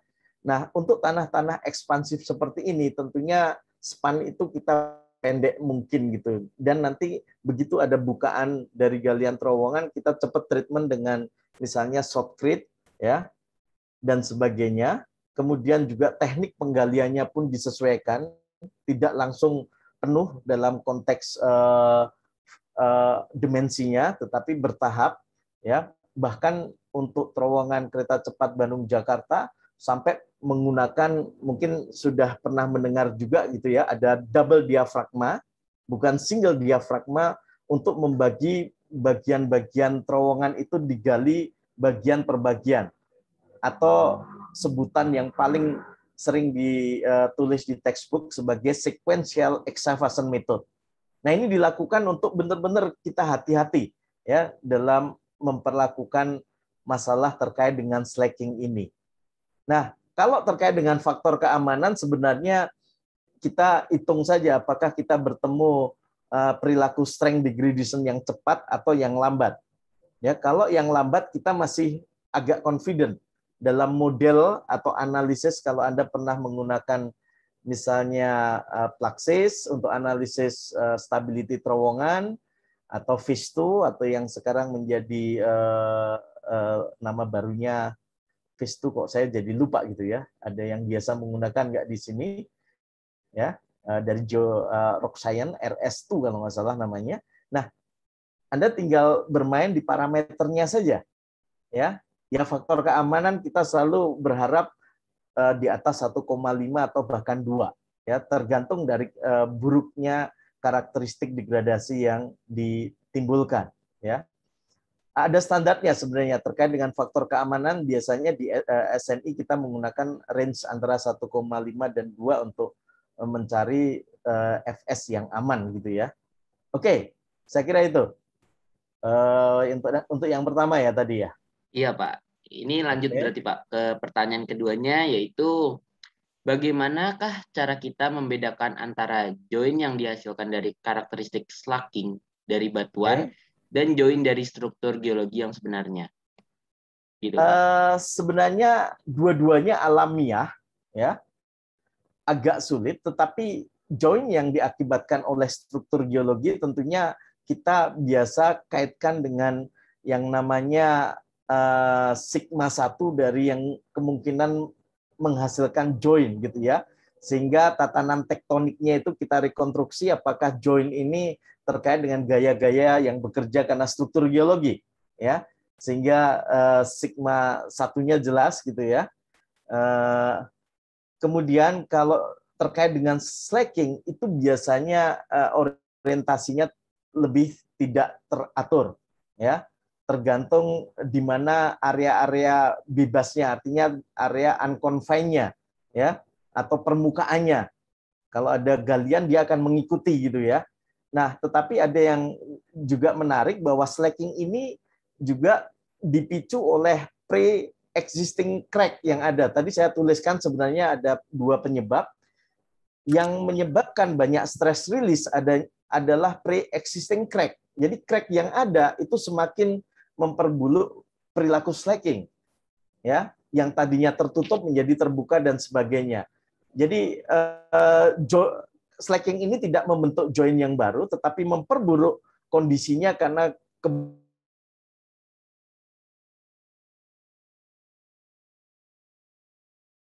rilis dan bahkan lepas antara satu bagian dengan bagian lainnya menghasilkan fragmen-fragmen batuan. Nah ini bahayanya seperti itu. Sehingga dalam konteks uh, uh, rocks engineering ya kita sebut semuanya sebagai discontinuity gitu ya. Produk dari slacking juga sebenarnya menghasilkan discontinuity juga, tetapi dalam konteks yang lebih rapat dan biasanya masuk dalam kategori time dependent behavior. Lain dengan produk struktur yang memang dihasilkan oleh uh, tectonic forces yang ada di sana atau gaya-gaya tektonik. Saya kira itu bedanya. Oke, baik Pak. Ini berarti lanjut ke pertanyaan selanjutnya itu, apakah slacking kita juga determinasikan sebagai diskontinuitas batuan dalam mengestimasi nilai RKD dan RMR batuan, oh, Oke, okay. ini barusan sebenarnya terkait ya. Uh, saya pikir kalau slacking berbeda. Dia prosesnya sebenarnya tidak uh, mirip dengan RMR atau RQD yang benar-benar memperhitungkan kondisi uh, diskontinuitasnya. Ya, slacking prosesnya lebih setelah kita uh, bertemu dengan batuan itu apakah akan terjadi degradasi, akan terjadi pemburukan sifat dengan perkembangan lebih lanjut dari discontinuity. Sedangkan RKD dan RMR itu dari existing discontinuity yang ada kita nilai. Nah, itu bedanya. Slacking itu memaksa kita memikirkan ke depan apakah ada perkembangan lebih dari discontinuity yang ada saat ini dan uh, tentunya puluhan tahun mendatang ya selama umur konstruksi yang kita buat. Jadi lebih ke forward modeling gitu ya, seakan-akan seperti itu. Kalau RKD dan RMR kita hanya menilai discontinuity, uh, discontinuity as it is apa yang kita lihat entah dengan metode scanline atau metode cell mapping atau Anda menggunakan teknik-teknik lain dalam karakterisasinya. Oke. Okay. Oke Pak, berarti ini kita lanjut ke pertanyaan terakhir dari Mas Dufan ini Pak. Yaitu ya. pertanyaannya, untuk parameter mekanik yang kita gunakan dalam analisis stabilitas lereng atau terowongan, apakah nilai parameter tersebut berasal dari intake rock atau rock mesh Pak? Sedangkan Langsung, yang kita singkat. dalam Oh, belum selesai ya? Iya, okay. belum Pak ini. Sedangkan yang kita sedangkan yang kita dalam kegiatan analisis di lab sendiri menggunakan instant rock atau batuan utuh tanpa diskontinuitas. Udah Pak, itu terakhir pertanyaan. Okay. Pak. Ya, ini yang menarik. Memang dalam konteks rocks engineering kita harus membedakan antara intake rocks atau batuan utuh dan rock mesh atau masa batuan. Jadi harus hati-hati sekali. Kita nggak boleh ya sekali lagi kita nggak boleh langsung atau direct membawa hasil pengujian rocks itu ke dalam desain di lapangan atau desain yang kita buat. Kita harus mentransformasi rocks itu menjadi rock mesh parameter sehingga parameternya mestinya rock mesh ya.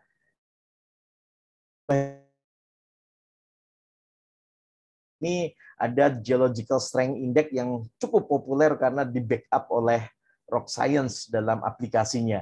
Ya, Anda masih boleh menggunakan RMR, Anda masih boleh menggunakan Q system dan berbagai klasifikasi lain, termasuk RMI yang juga semakin populer. Intinya ada yang mengatakan bahwa rock mass classification itu ibarat vehicles ibarat kendaraan ya yang bisa membawa intake rocks itu ke dalam rock mesh uh, karakteristik. Karena di dalam rock mesh uh, di dalam uh, rock mesh characterization itu juga aspek-aspek intake rocknya dilihat sebagai dasar pertimbangan awal ya, tetapi nggak boleh direct menggunakan parameter itu langsung dalam model kita ya. Model yang kita hadapi di lapangan adalah masa batuan ya. Itu yang menjadi kunci utama kalau kita bicara rocks engineering. Oke, terima kasih Pak sudah menjawab pertanyaan dari Mas Irfan Sumantri ini Pak. Selanjutnya ini ada pertanyaan lagi dari Pak Tulus Buta Butar Butar dari PT NSHE Pak. Pertanyaannya itu apa yang perlu diperhatikan saat membangun infra, infrastruktur seperti terowongan atau waduk bendungan jika terpotong oleh sesar aktif? Itu Pak pertanyaannya. Oke, jadi ini terkait dengan sesar aktif ya yang terpotong. Uh, memang kita harus memastikan dulu bahwa sesar itu aktif atau tidak ya. Kalau sudah dimension aktif benar, kadang-kadang ngeri orang melihatnya ya. Tetapi aktif itu dalam konteks geologi kan dia eh, ya memiliki rekaman atau jejak gitu ya aktivitasnya dalam uh, konteks umur Holosin ya 10.000 tahun yang lalu sampai sekarang gitu ya. Nah kadang-kadang kalau kita ke teman-teman di bidang lain, oh aneh itu lama sekali gitu ya, masih dibilang aktif. Tetapi yang penting adalah kita gunakan berbagai metode untuk menjustifikasi aktifnya dulu, bahkan kalau perlu kita dating gitu ya, apakah benar ya gejala yang ada itu memperlihatkan eh, proses-proses yang berlangsung lebih pendek lah sehingga aktivitasnya bisa kita pahami dengan baik. Kalau perlu melakukan tracing di sana ya melakukan juga georadar ya teman-teman geofisika juga membantu di situ untuk melihat jejak-jejak longsoran. Eh jejak-jejak eh, sesar ya kok longsoran. Ya jejak sesar apakah bisa diyakini ada aktivitas atau tidak.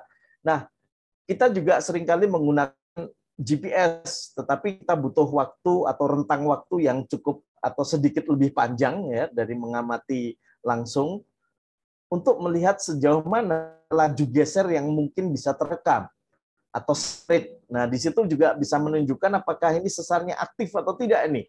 Ya, sesar itu masih ber atau tidak gitu ya. Nah, kalau kita yakini pada akhirnya ada pergeseran di sana ya kalau untuk bendungan janganlah gitu ya.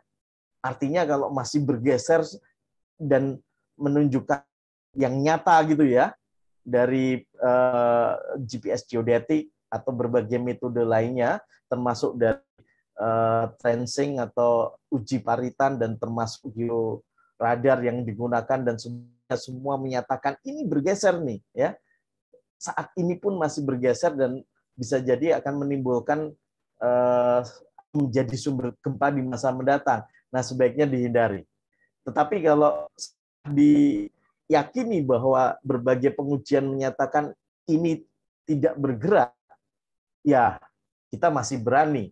Tentunya dengan treatment perkuatan-perkuatan fondasi di area sesar itu dengan sistem growing atau ada yang mungkin pernah mendengar curtain growing gitu ya. Tetapi curtain growing itu lebih banyak sebenarnya untuk uh, membuat lapisan di bawah lebih kedap air. Di satu sisi kita juga bisa mengkombinasikan sistem growing untuk uh, pemadatan dari fondasi growing ya untuk fondasi bendungan sehingga bendungan itu lebih aman ya jadi kombinasi antara consolidation growing dengan uh, curtain growing. Itu bisa kita lakukan. Ya, jadi itu untuk menjawab bagaimana kita kalau berhadapan dengan sesar. Ya memang mau nggak mau kita akan banyak berhadapan dengan itu. Apalagi di bendungan lembah yang sempit itu biasanya sesar gitu ya. Oke. Baik, terima kasih Pak Imam sudah menjawab pertanyaan dari Pak Tulus Butar Butar ini Pak. Nah selanjutnya ada pertanyaan lagi Pak dari Dimas Panggih Amukti dari Geologi ITERA nih Pak. Pertanyaannya itu untuk lereng batu, untuk lereng campuran batu dan tanah, kira-kira rekomendasi kestabilan lerengnya bagaimana ya Pak? Itu Pak pertanyaannya. Ya, yang penting adalah jauh mana batu itu kita pahami sebagai bagian yang bisa kita uh,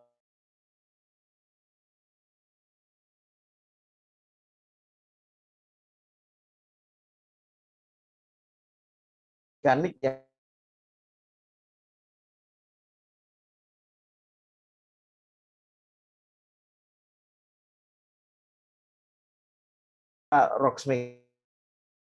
Nah, padahal ini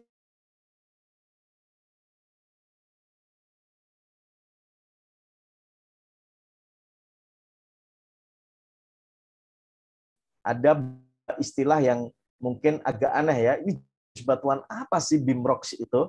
Nah, sebenarnya BIM itu dari kata boulder in matrix rock ya. Jadi pendekatan yang dilakukan. Bahkan di Berkeley sana orang membuat triaxial cell itu ukurannya sampai 2 meter. Gara-gara pengen ngetes kekuatan geser dari beam rocks ini. Ya, Memang nggak mudah. Kalau triaxial kan biasanya kita ngukur sampel dengan 50 cm aja eh, diameternya sudah cukup kan. Ini bayangkan sampai 2 meter. Ya, dalam kerangka untuk memahami parameter itu sendiri. Nah, ini memang nggak mudah campuran batu dan tanah apalagi batunya bisa sampai diameter lebih dari 50 cm katakanlah ya. Nah, ini berat. Ya, sehingga di dunia internasional sekarang juga masih memikirkan bagaimana sih kita mendefinisikan beam rocks ini dengan baik. Ya, saya eh, pernah melakukan uji dengan diameter 80 cm. Pasti saya yakin di sini belum pernah ada yang melakukannya ya kecuali kami dan tim di sini. Oke, jadi intinya itu bagaimana kita mengenerate parameter yang baik kondisi campuran seperti itu. Nanti bisa dicek itu BIPROC itu dalam uh, berbagai paper internasional. Silakan, Anda ikuti itu saja. Ya, itu ranahnya transitional. Oke, saya pikir mudah-mudahan bisa menjawab pertanyaan uh, dari Dimas ya. Pak. Terima kasih, Pak. Nah, selanjutnya ada pertanyaan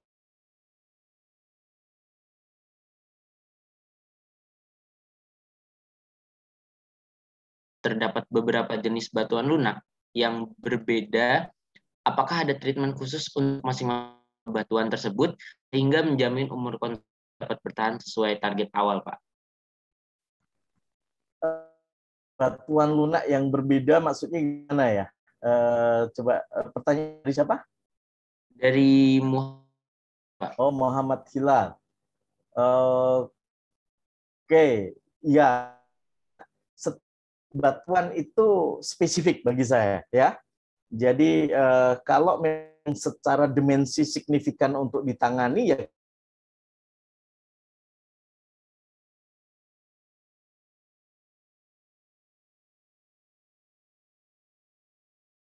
istilah geologi dikit gitu ya tetapi eh, kita nilai secara uh, the whole process artinya seluruh area yang kita rekayasa itu apakah memang signifikan nggak keberadaan.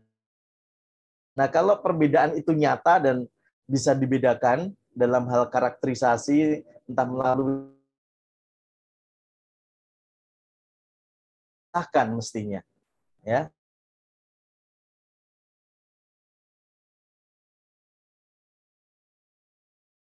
bagian yang trisasi.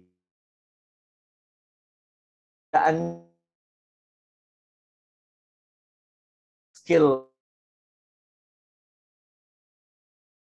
lah rekayasa Oke. Menjawab Mas Tulus ya.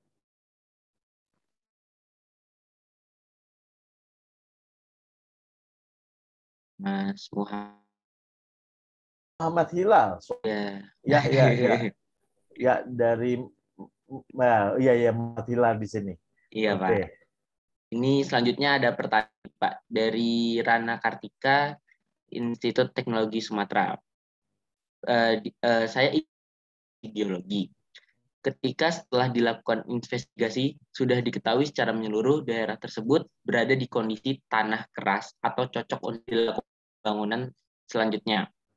Tetapi bagaimana cara geologis mengetahui keberadaan cekungan di kedalaman tertentu di antara area tersebut? Dikarenakan keberadaan cekungan tersebut bisa menjadi sumber kerusakan pembangunan. pembangunan. Terima kasih, Pak. Uh, ya kita harus membedakan keras dan tidak dari satu parameter yang harus disepakati bersama lah ya.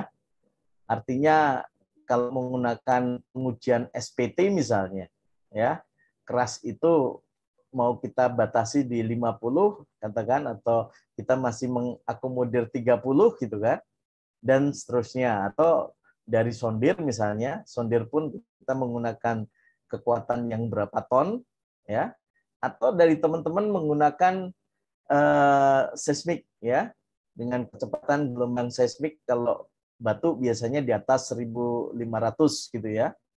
Nah, jadi itu yang yang menarik ya, sehingga bagaimana kita mendelineasi batas-batas itu semua ya tinggal korelasi aja dari entah uh, atau convenant test ada bor kemudian dibantu line uh, seismik refraksi atau bahkan geolistrik juga bisa juga kadang-kadang digunakan untuk mendelineasi antar bor gitu ya biar kita bisa lebih yakin. Yang penting diikat ya. Biasanya kalau ada seismik kita dengan bor yang memang dilewati oleh lintasan itu sehingga kita bisa melakukan korelasi dengan lebih baik lagi.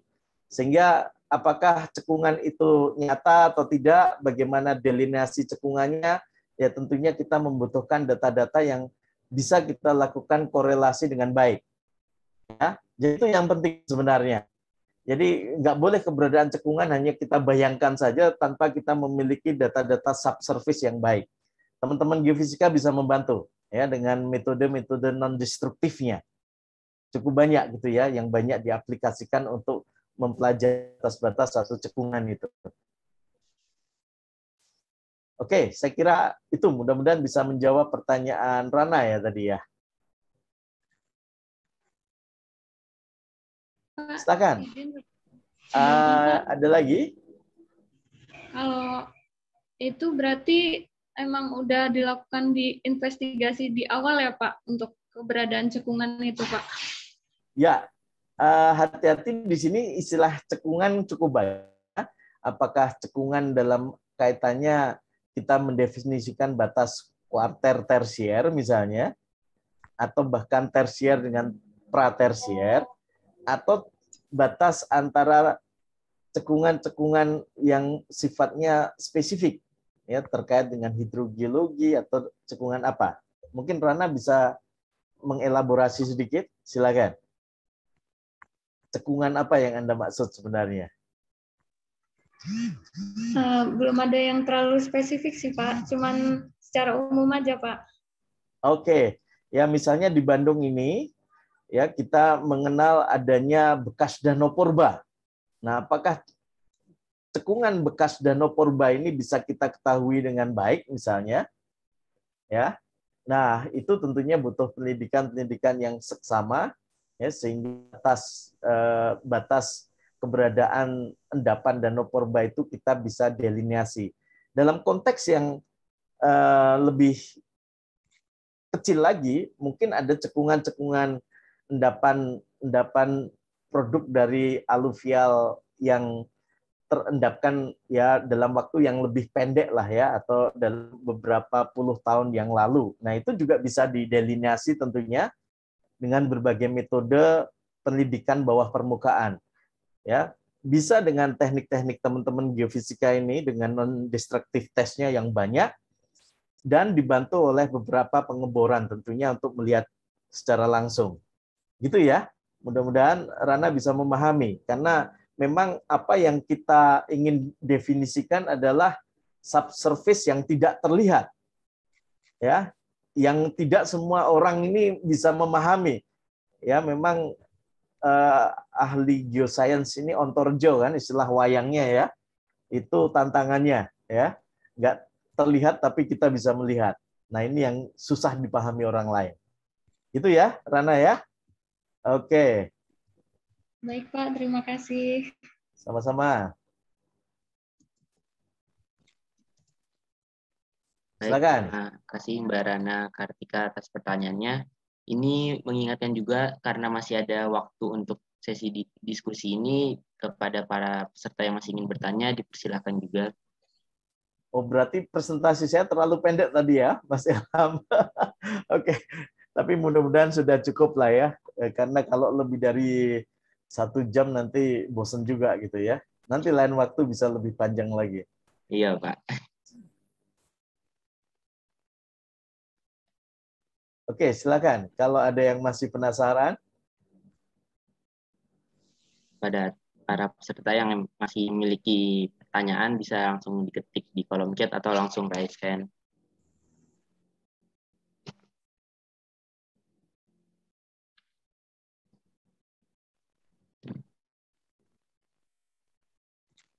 Saya sebenarnya tadi uh, eh, pengen juga uh, sharing tadi beberapa uh, hasil dari investigasi geoteknik ya untuk beberapa pekerjaan yang bukan pekerjaan artinya infrastruktur yang sekarang sedang berjalan gitu ya. Tapi saya khawatir tadinya panjangan gitu. Sehingga oke okay lah saya kurangi saja ya intinya saja lah dari hal-hal yang sifatnya lebih ini uh, fundamental. Oke okay, silakan ini ada pertanyaan juga nih Pak yang dari kolom chat uh, dari Bambang Sidaharta uh, apa sudah penelitian ke IKN terkait slacking atau clay karakteristiknya Pak? Uh, kalau saya sendiri belum, ya. Tetapi oh ini Pak Bambang, wah ketemu lagi nongol juga di sini ya. Kemarin saya mendapatkan, Mantau, ya Pak Bambang, saya sudah mendapatkan reportnya, ya. Uh, saya sedang diminta untuk mereview dari Bu Dirjen Cipta Karya banyak sekali, tetapi ini memang uh, saya bilang oke, okay, saya akan uh, coba dalam dua minggu ini gitu ya, karena mestinya mereka sudah melibatkan para konsultan ya untuk detail desain dan kebetulan reportnya baru nyampe ini Pak Bambang. Ya, saya kaget juga ada statement-statement yang juga sebenarnya menggarisbawahi masalah slacking ini dari report yang saya dapatkan dari Bu uh, Dirjen Cipta Karya ya. Ya nanti uh, kalau saya sendiri belum ya, tetapi saya selalu melihat itu menjadi bagian yang penting untuk dipahami. Itu aja dulu. Ya. Gini Pak. Sejauh mana degradasinya apakah termasuk yang galak atau tidak gitu Pak Bambang ya. Gini-gini ya. saya mau mau nanya lanjut nih. Oke, okay, oke. Okay. Uh, di PU kan ada mereka sering ini lakukan pressure pressure meter ya kalau untuk menguji apa clay yang ekspansif itu di lapangan gitu kan. Iya Pak Bambang. Nah, cuman sepertinya ini lebih ke slacking saja gitu, tapi mereka mengatakan slacking dan uh, ekspansif gitu. Ya. Uh, apakah apakah fenomena slacking itu dengan teknik uh, pressure meter itu juga bisa dianggap sebagai ekspansif? Karena dari XRD juga yang di bagian tertentu ya di di IKN itu tidak ditemukan ini uh, mineral monmorillonite yang ekspansif itu gitu kecuali yang mungkin di formasi yang di luar inti IKN gitu mungkin mungkin bisa jadi gitu bagaimana untuk bapak pak? Oke okay. uh, eh, pressure meter sebenarnya salah satunya untuk melihat bagaimana respon dari bor itu ya kalau uh, kita ukur adanya stres gitu ya Artinya eh, stress release yang dihasilkan dari lubang bor itu kita ukur betul gitu ya. Dan itu kita eh, nilai sebagai swelling effect ya atau strain dari swelling yang ada. Nah, eh, dalam konteks eh, slacking ini sebenarnya swelling itu mempercepat saja ya. Artinya kalau ada swelling ini slackingnya biasanya lebih cepat. Nah, slacking ini sebenarnya nggak harus ada expansive clay mineral, ya, karena efek dari rebound saja bisa terjadi. Artinya batuan uh, ini kan dalam sejarahnya pernah mengalami stres yang tinggi untuk fine grain sedimentary rock, biasanya dia rebound, Pak Bambang. Nah, rebound ini juga bisa diukur. Artinya rebound ini bisa dihasilkan tanpa adanya uh, proses ekspansif dari clay minerals. Ini mungkin juga yang perlu diperhatikan. Satu sisi, Eh, yang saya sebut sebagai stress release tadi. Apalagi nanti kalau bukaannya cukup lebar, ya rebound yang terjadi bisa uh, lebih lebar lagi, tergantung luas permukaan yang dibuka gitu ya. Nah ini ini yang perlu dipahami. Nah sehingga apakah perlu uh, gaya yang lebih masif gitu untuk istilahnya uh, memberikan load ya terhadap strain yang mungkin terjadi atau pressure kalau kita bicara swelling nanti parameternya di uh, uh, ukur dalam swelling pressure. Nah, apakah swelling pressure yang dihasilkan itu dengan load yang ada kita bisa menjamin bahwa load ini cukup memadai, ya. Nah, kalau tidak kita akan memberikan atau mentolerir adanya besaran strain yang ada, artinya kita berbolehkan heaving kalau itu di lantai gitu misalnya, ya atau menyembul ke atas. Nah, nanti uh, infrastruktur kita kita taruh di samping-sampingnya gitu, nggak nggak uh, nggak bersentuhan langsung dengan heaving yang terjadi. Ya, jadi itu Pak Bambang saya pikir. Tapi kalau uh, pressure test saja itu swelling saja yang diukur atau identik dengan swellingnya, bukan slackingnya. Uh, gini Pak, Bart, kita bisa bias nggak?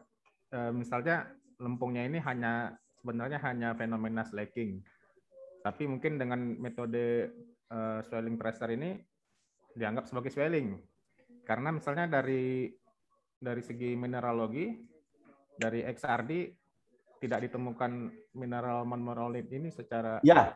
masif gitu? Boleh Pak. Jadi memang eh, dalam dunia swelling pun ya banyak penelitian yang non clay mineral ya swelling yang diakibatkan bukan karena proses eh, bukan semata-mata karena mineral-mineral yang me, me, mengakibatkan ekspansif ya perilaku ekspansif tetapi misalnya kalau nanti coba dicek misalnya ya eh, Pak Bambang juga boleh uh, me me mengecek atau mencari uh, literatur peran dari uh, saya kok lupa itu mineral yang mirip dengan emas itu apa? Pirit oh, misalnya. Pirit, ya, ya. ya, kehadiran pirit itu juga bisa mengakibatkan proses ekspansi sebenarnya. Apalagi kalau piritnya itu kecil-kecil dan kadang-kadang kalau di, di batu lempung kita sebut sebagai framboidal pyrite gitu ya. Hmm. Nah, itu bisa. Tetapi nggak ada pirit pun stress release yang terjadi ya karena memang perilaku elastik dari uh, itu juga bisa mengakibatkan uh, strain yang besar. Ya, strain yang besar ya kita baca sebagai swelling pressure juga. Gitu Pak Bambang. Jadi nggak perlu ada expans uh, ini clay, expansive clay minerals untuk bisa swelling. Oh. Berarti dari dari swelling pressure itu udah bisa kita nyatakan itu swelling. Ya, gitu ya? mudah-mudahan sudah diukur di lapangan maupun di lab swelling pressure berapa itu nanti diimbangi dengan besaran load yang harus dimiliki oleh infrastruktur yang kita pasang di sana gitu. Ya, nanti isunya di situ tuh Pak. Apakah ya. hanya slacking atau juga slacking dan swelling ya? Saya rasa ya. itu isunya nanti. Karena memang slacking dan swelling itu treatmentnya bisa jadi sendiri-sendiri. Hmm. Ya kalau kalau slacking itu lebih degradation ya yang harus diantisipasi sehingga uh, parameter yang overconfident terhadap uh, perilaku slacking yang tidak memperhitungkan perilaku slacking ini akan bahaya.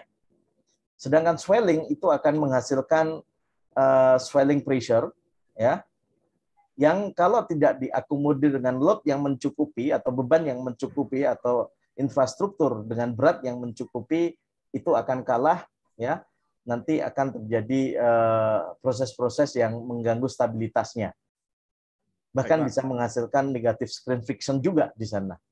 Ya, ya. terima gitu. kasih Pak. Ya, ini yang harus cermat ya karena uh, ya saya beberapa kali ditanya juga sama konsultan yang mengerjakan desain saat ini.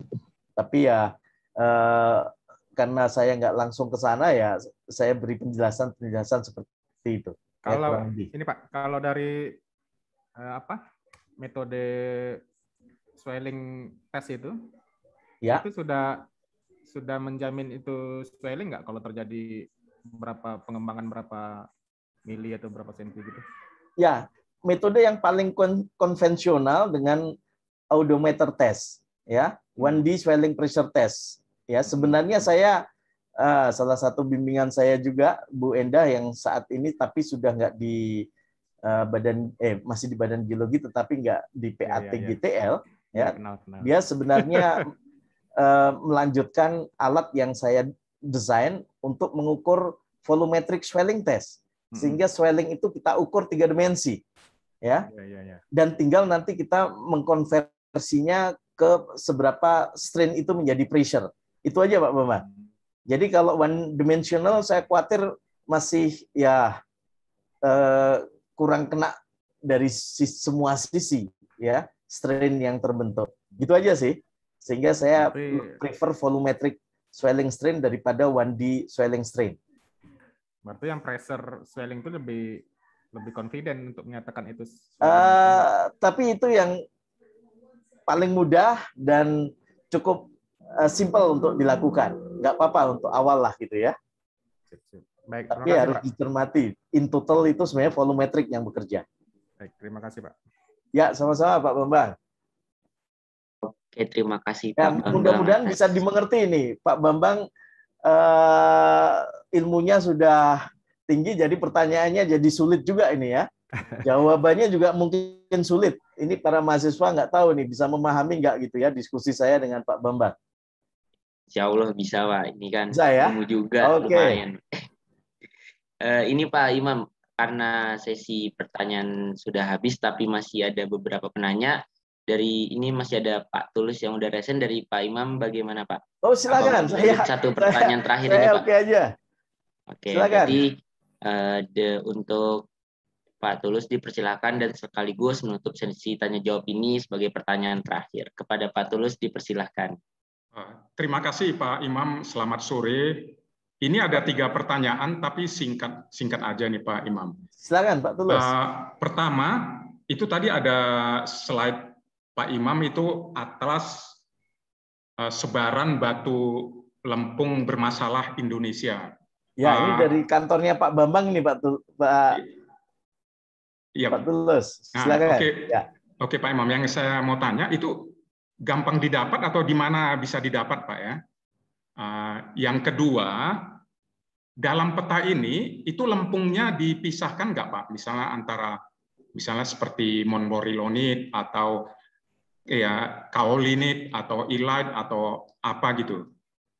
Kemudian yang ketiga, pertanyaan terakhir, eh, lempung bermasalah itu bisa nggak muncul dari ini dari dari apa namanya dekomposisi batuan induk berupa tuf, nah misalnya tuf toba atau dari granit, ya apa namanya dari felsparnya granit. Terima kasih Pak Imam, itu aja. Selamat sore. Selamat sore. Wah, menarik nih pertanyaan Pak Tulus. Langsung jawab poin-poin juga ya. Pertanyaan pertama, Pak Tulus masukkan saja ke Google, itu langsung keluar Pak PDF-nya. Bisa di-download Pak. Oke, makasih Pak. Ya, yang nomor dua memang ini menjadi guidance awal dulu Pak. Ya, saya appreciate dengan teman-teman uh, di PAT GTL uh, koleganya Pak Bambang nih sebenarnya ya, yang mengcreate peta ini dan menarik untuk menjadi guidance awal. Ya, memang ini yang uh, mestinya dilanjutkan dengan investigasi geoteknik, penelitian geoteknik secara lebih seksama Pak untuk melihat apakah memang expansive eh, clay minerals terutama ter, terdeteksi atau tidak gitu ya. Kalaupun uh, tidak langsung kalau dalam metode geologi kan kita pengennya pakai SEM atau XRD gitu ya. Nah, teman-teman sipil biasanya menggunakan uh, plastik limit atau plasticity chart gitu ya untuk pendekatan itu, terutama dari nilai activity-nya gitu ya, Pak Tulus ya. Jadi ya, detailnya belum. Ya, tetapi guidance awal berdasarkan formasi-formasi batu lempung tersier biasanya Pak Tulus. Ya, itu yang kedua mudah-mudahan terjawab Pak ya. Oke, oke, Pak. Ya, yang yang yang ketiga itu bisa. Secara geologi, saya pikir Pak Tulus sudah paham sekali bahwa kita punya mineral itu bisa alogenik dan autogenik kan. Gitu ya, aja Pak. Pak. Ya, sehingga mineral lempung ini juga bisa dihasilkan dari proses-proses eh, perubahan lebih lanjut, entah karena eh, alterasi yang dikaitkan dengan larutan hidrotermal atau bahkan pelapukan. Itu yang uh, autogenik. Saya pikir bisa terjadi juga di tuf toba yang uh, lapuk menghasilkan satu proses uh, pembentukan lempung secara lebih lanjut. Gitu, Pak. Terima kasih banyak. Sama-sama, Pak, Pak Tulus. Baik, terima kasih Pak Tulus dan Pak Imam tadi atas pertanyaan dan jawabannya juga dan sekaligus menutup sesi tanya jawab pada acara sore hari ini dan juga dengan ditutupnya sesi tanya jawab ini sudah menandakan bahwa kita sudah ada di akhir acara seminar kebumian ini.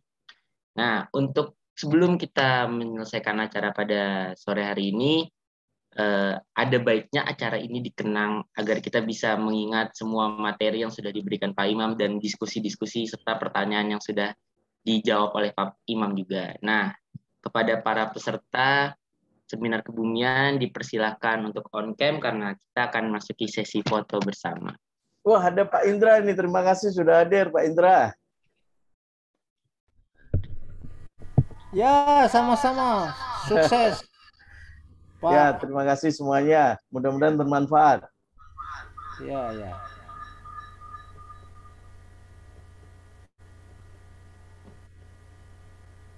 Kita di foto ya. Iya Pak, ini nunggu pada on cam sebentar ya Pak. Ya.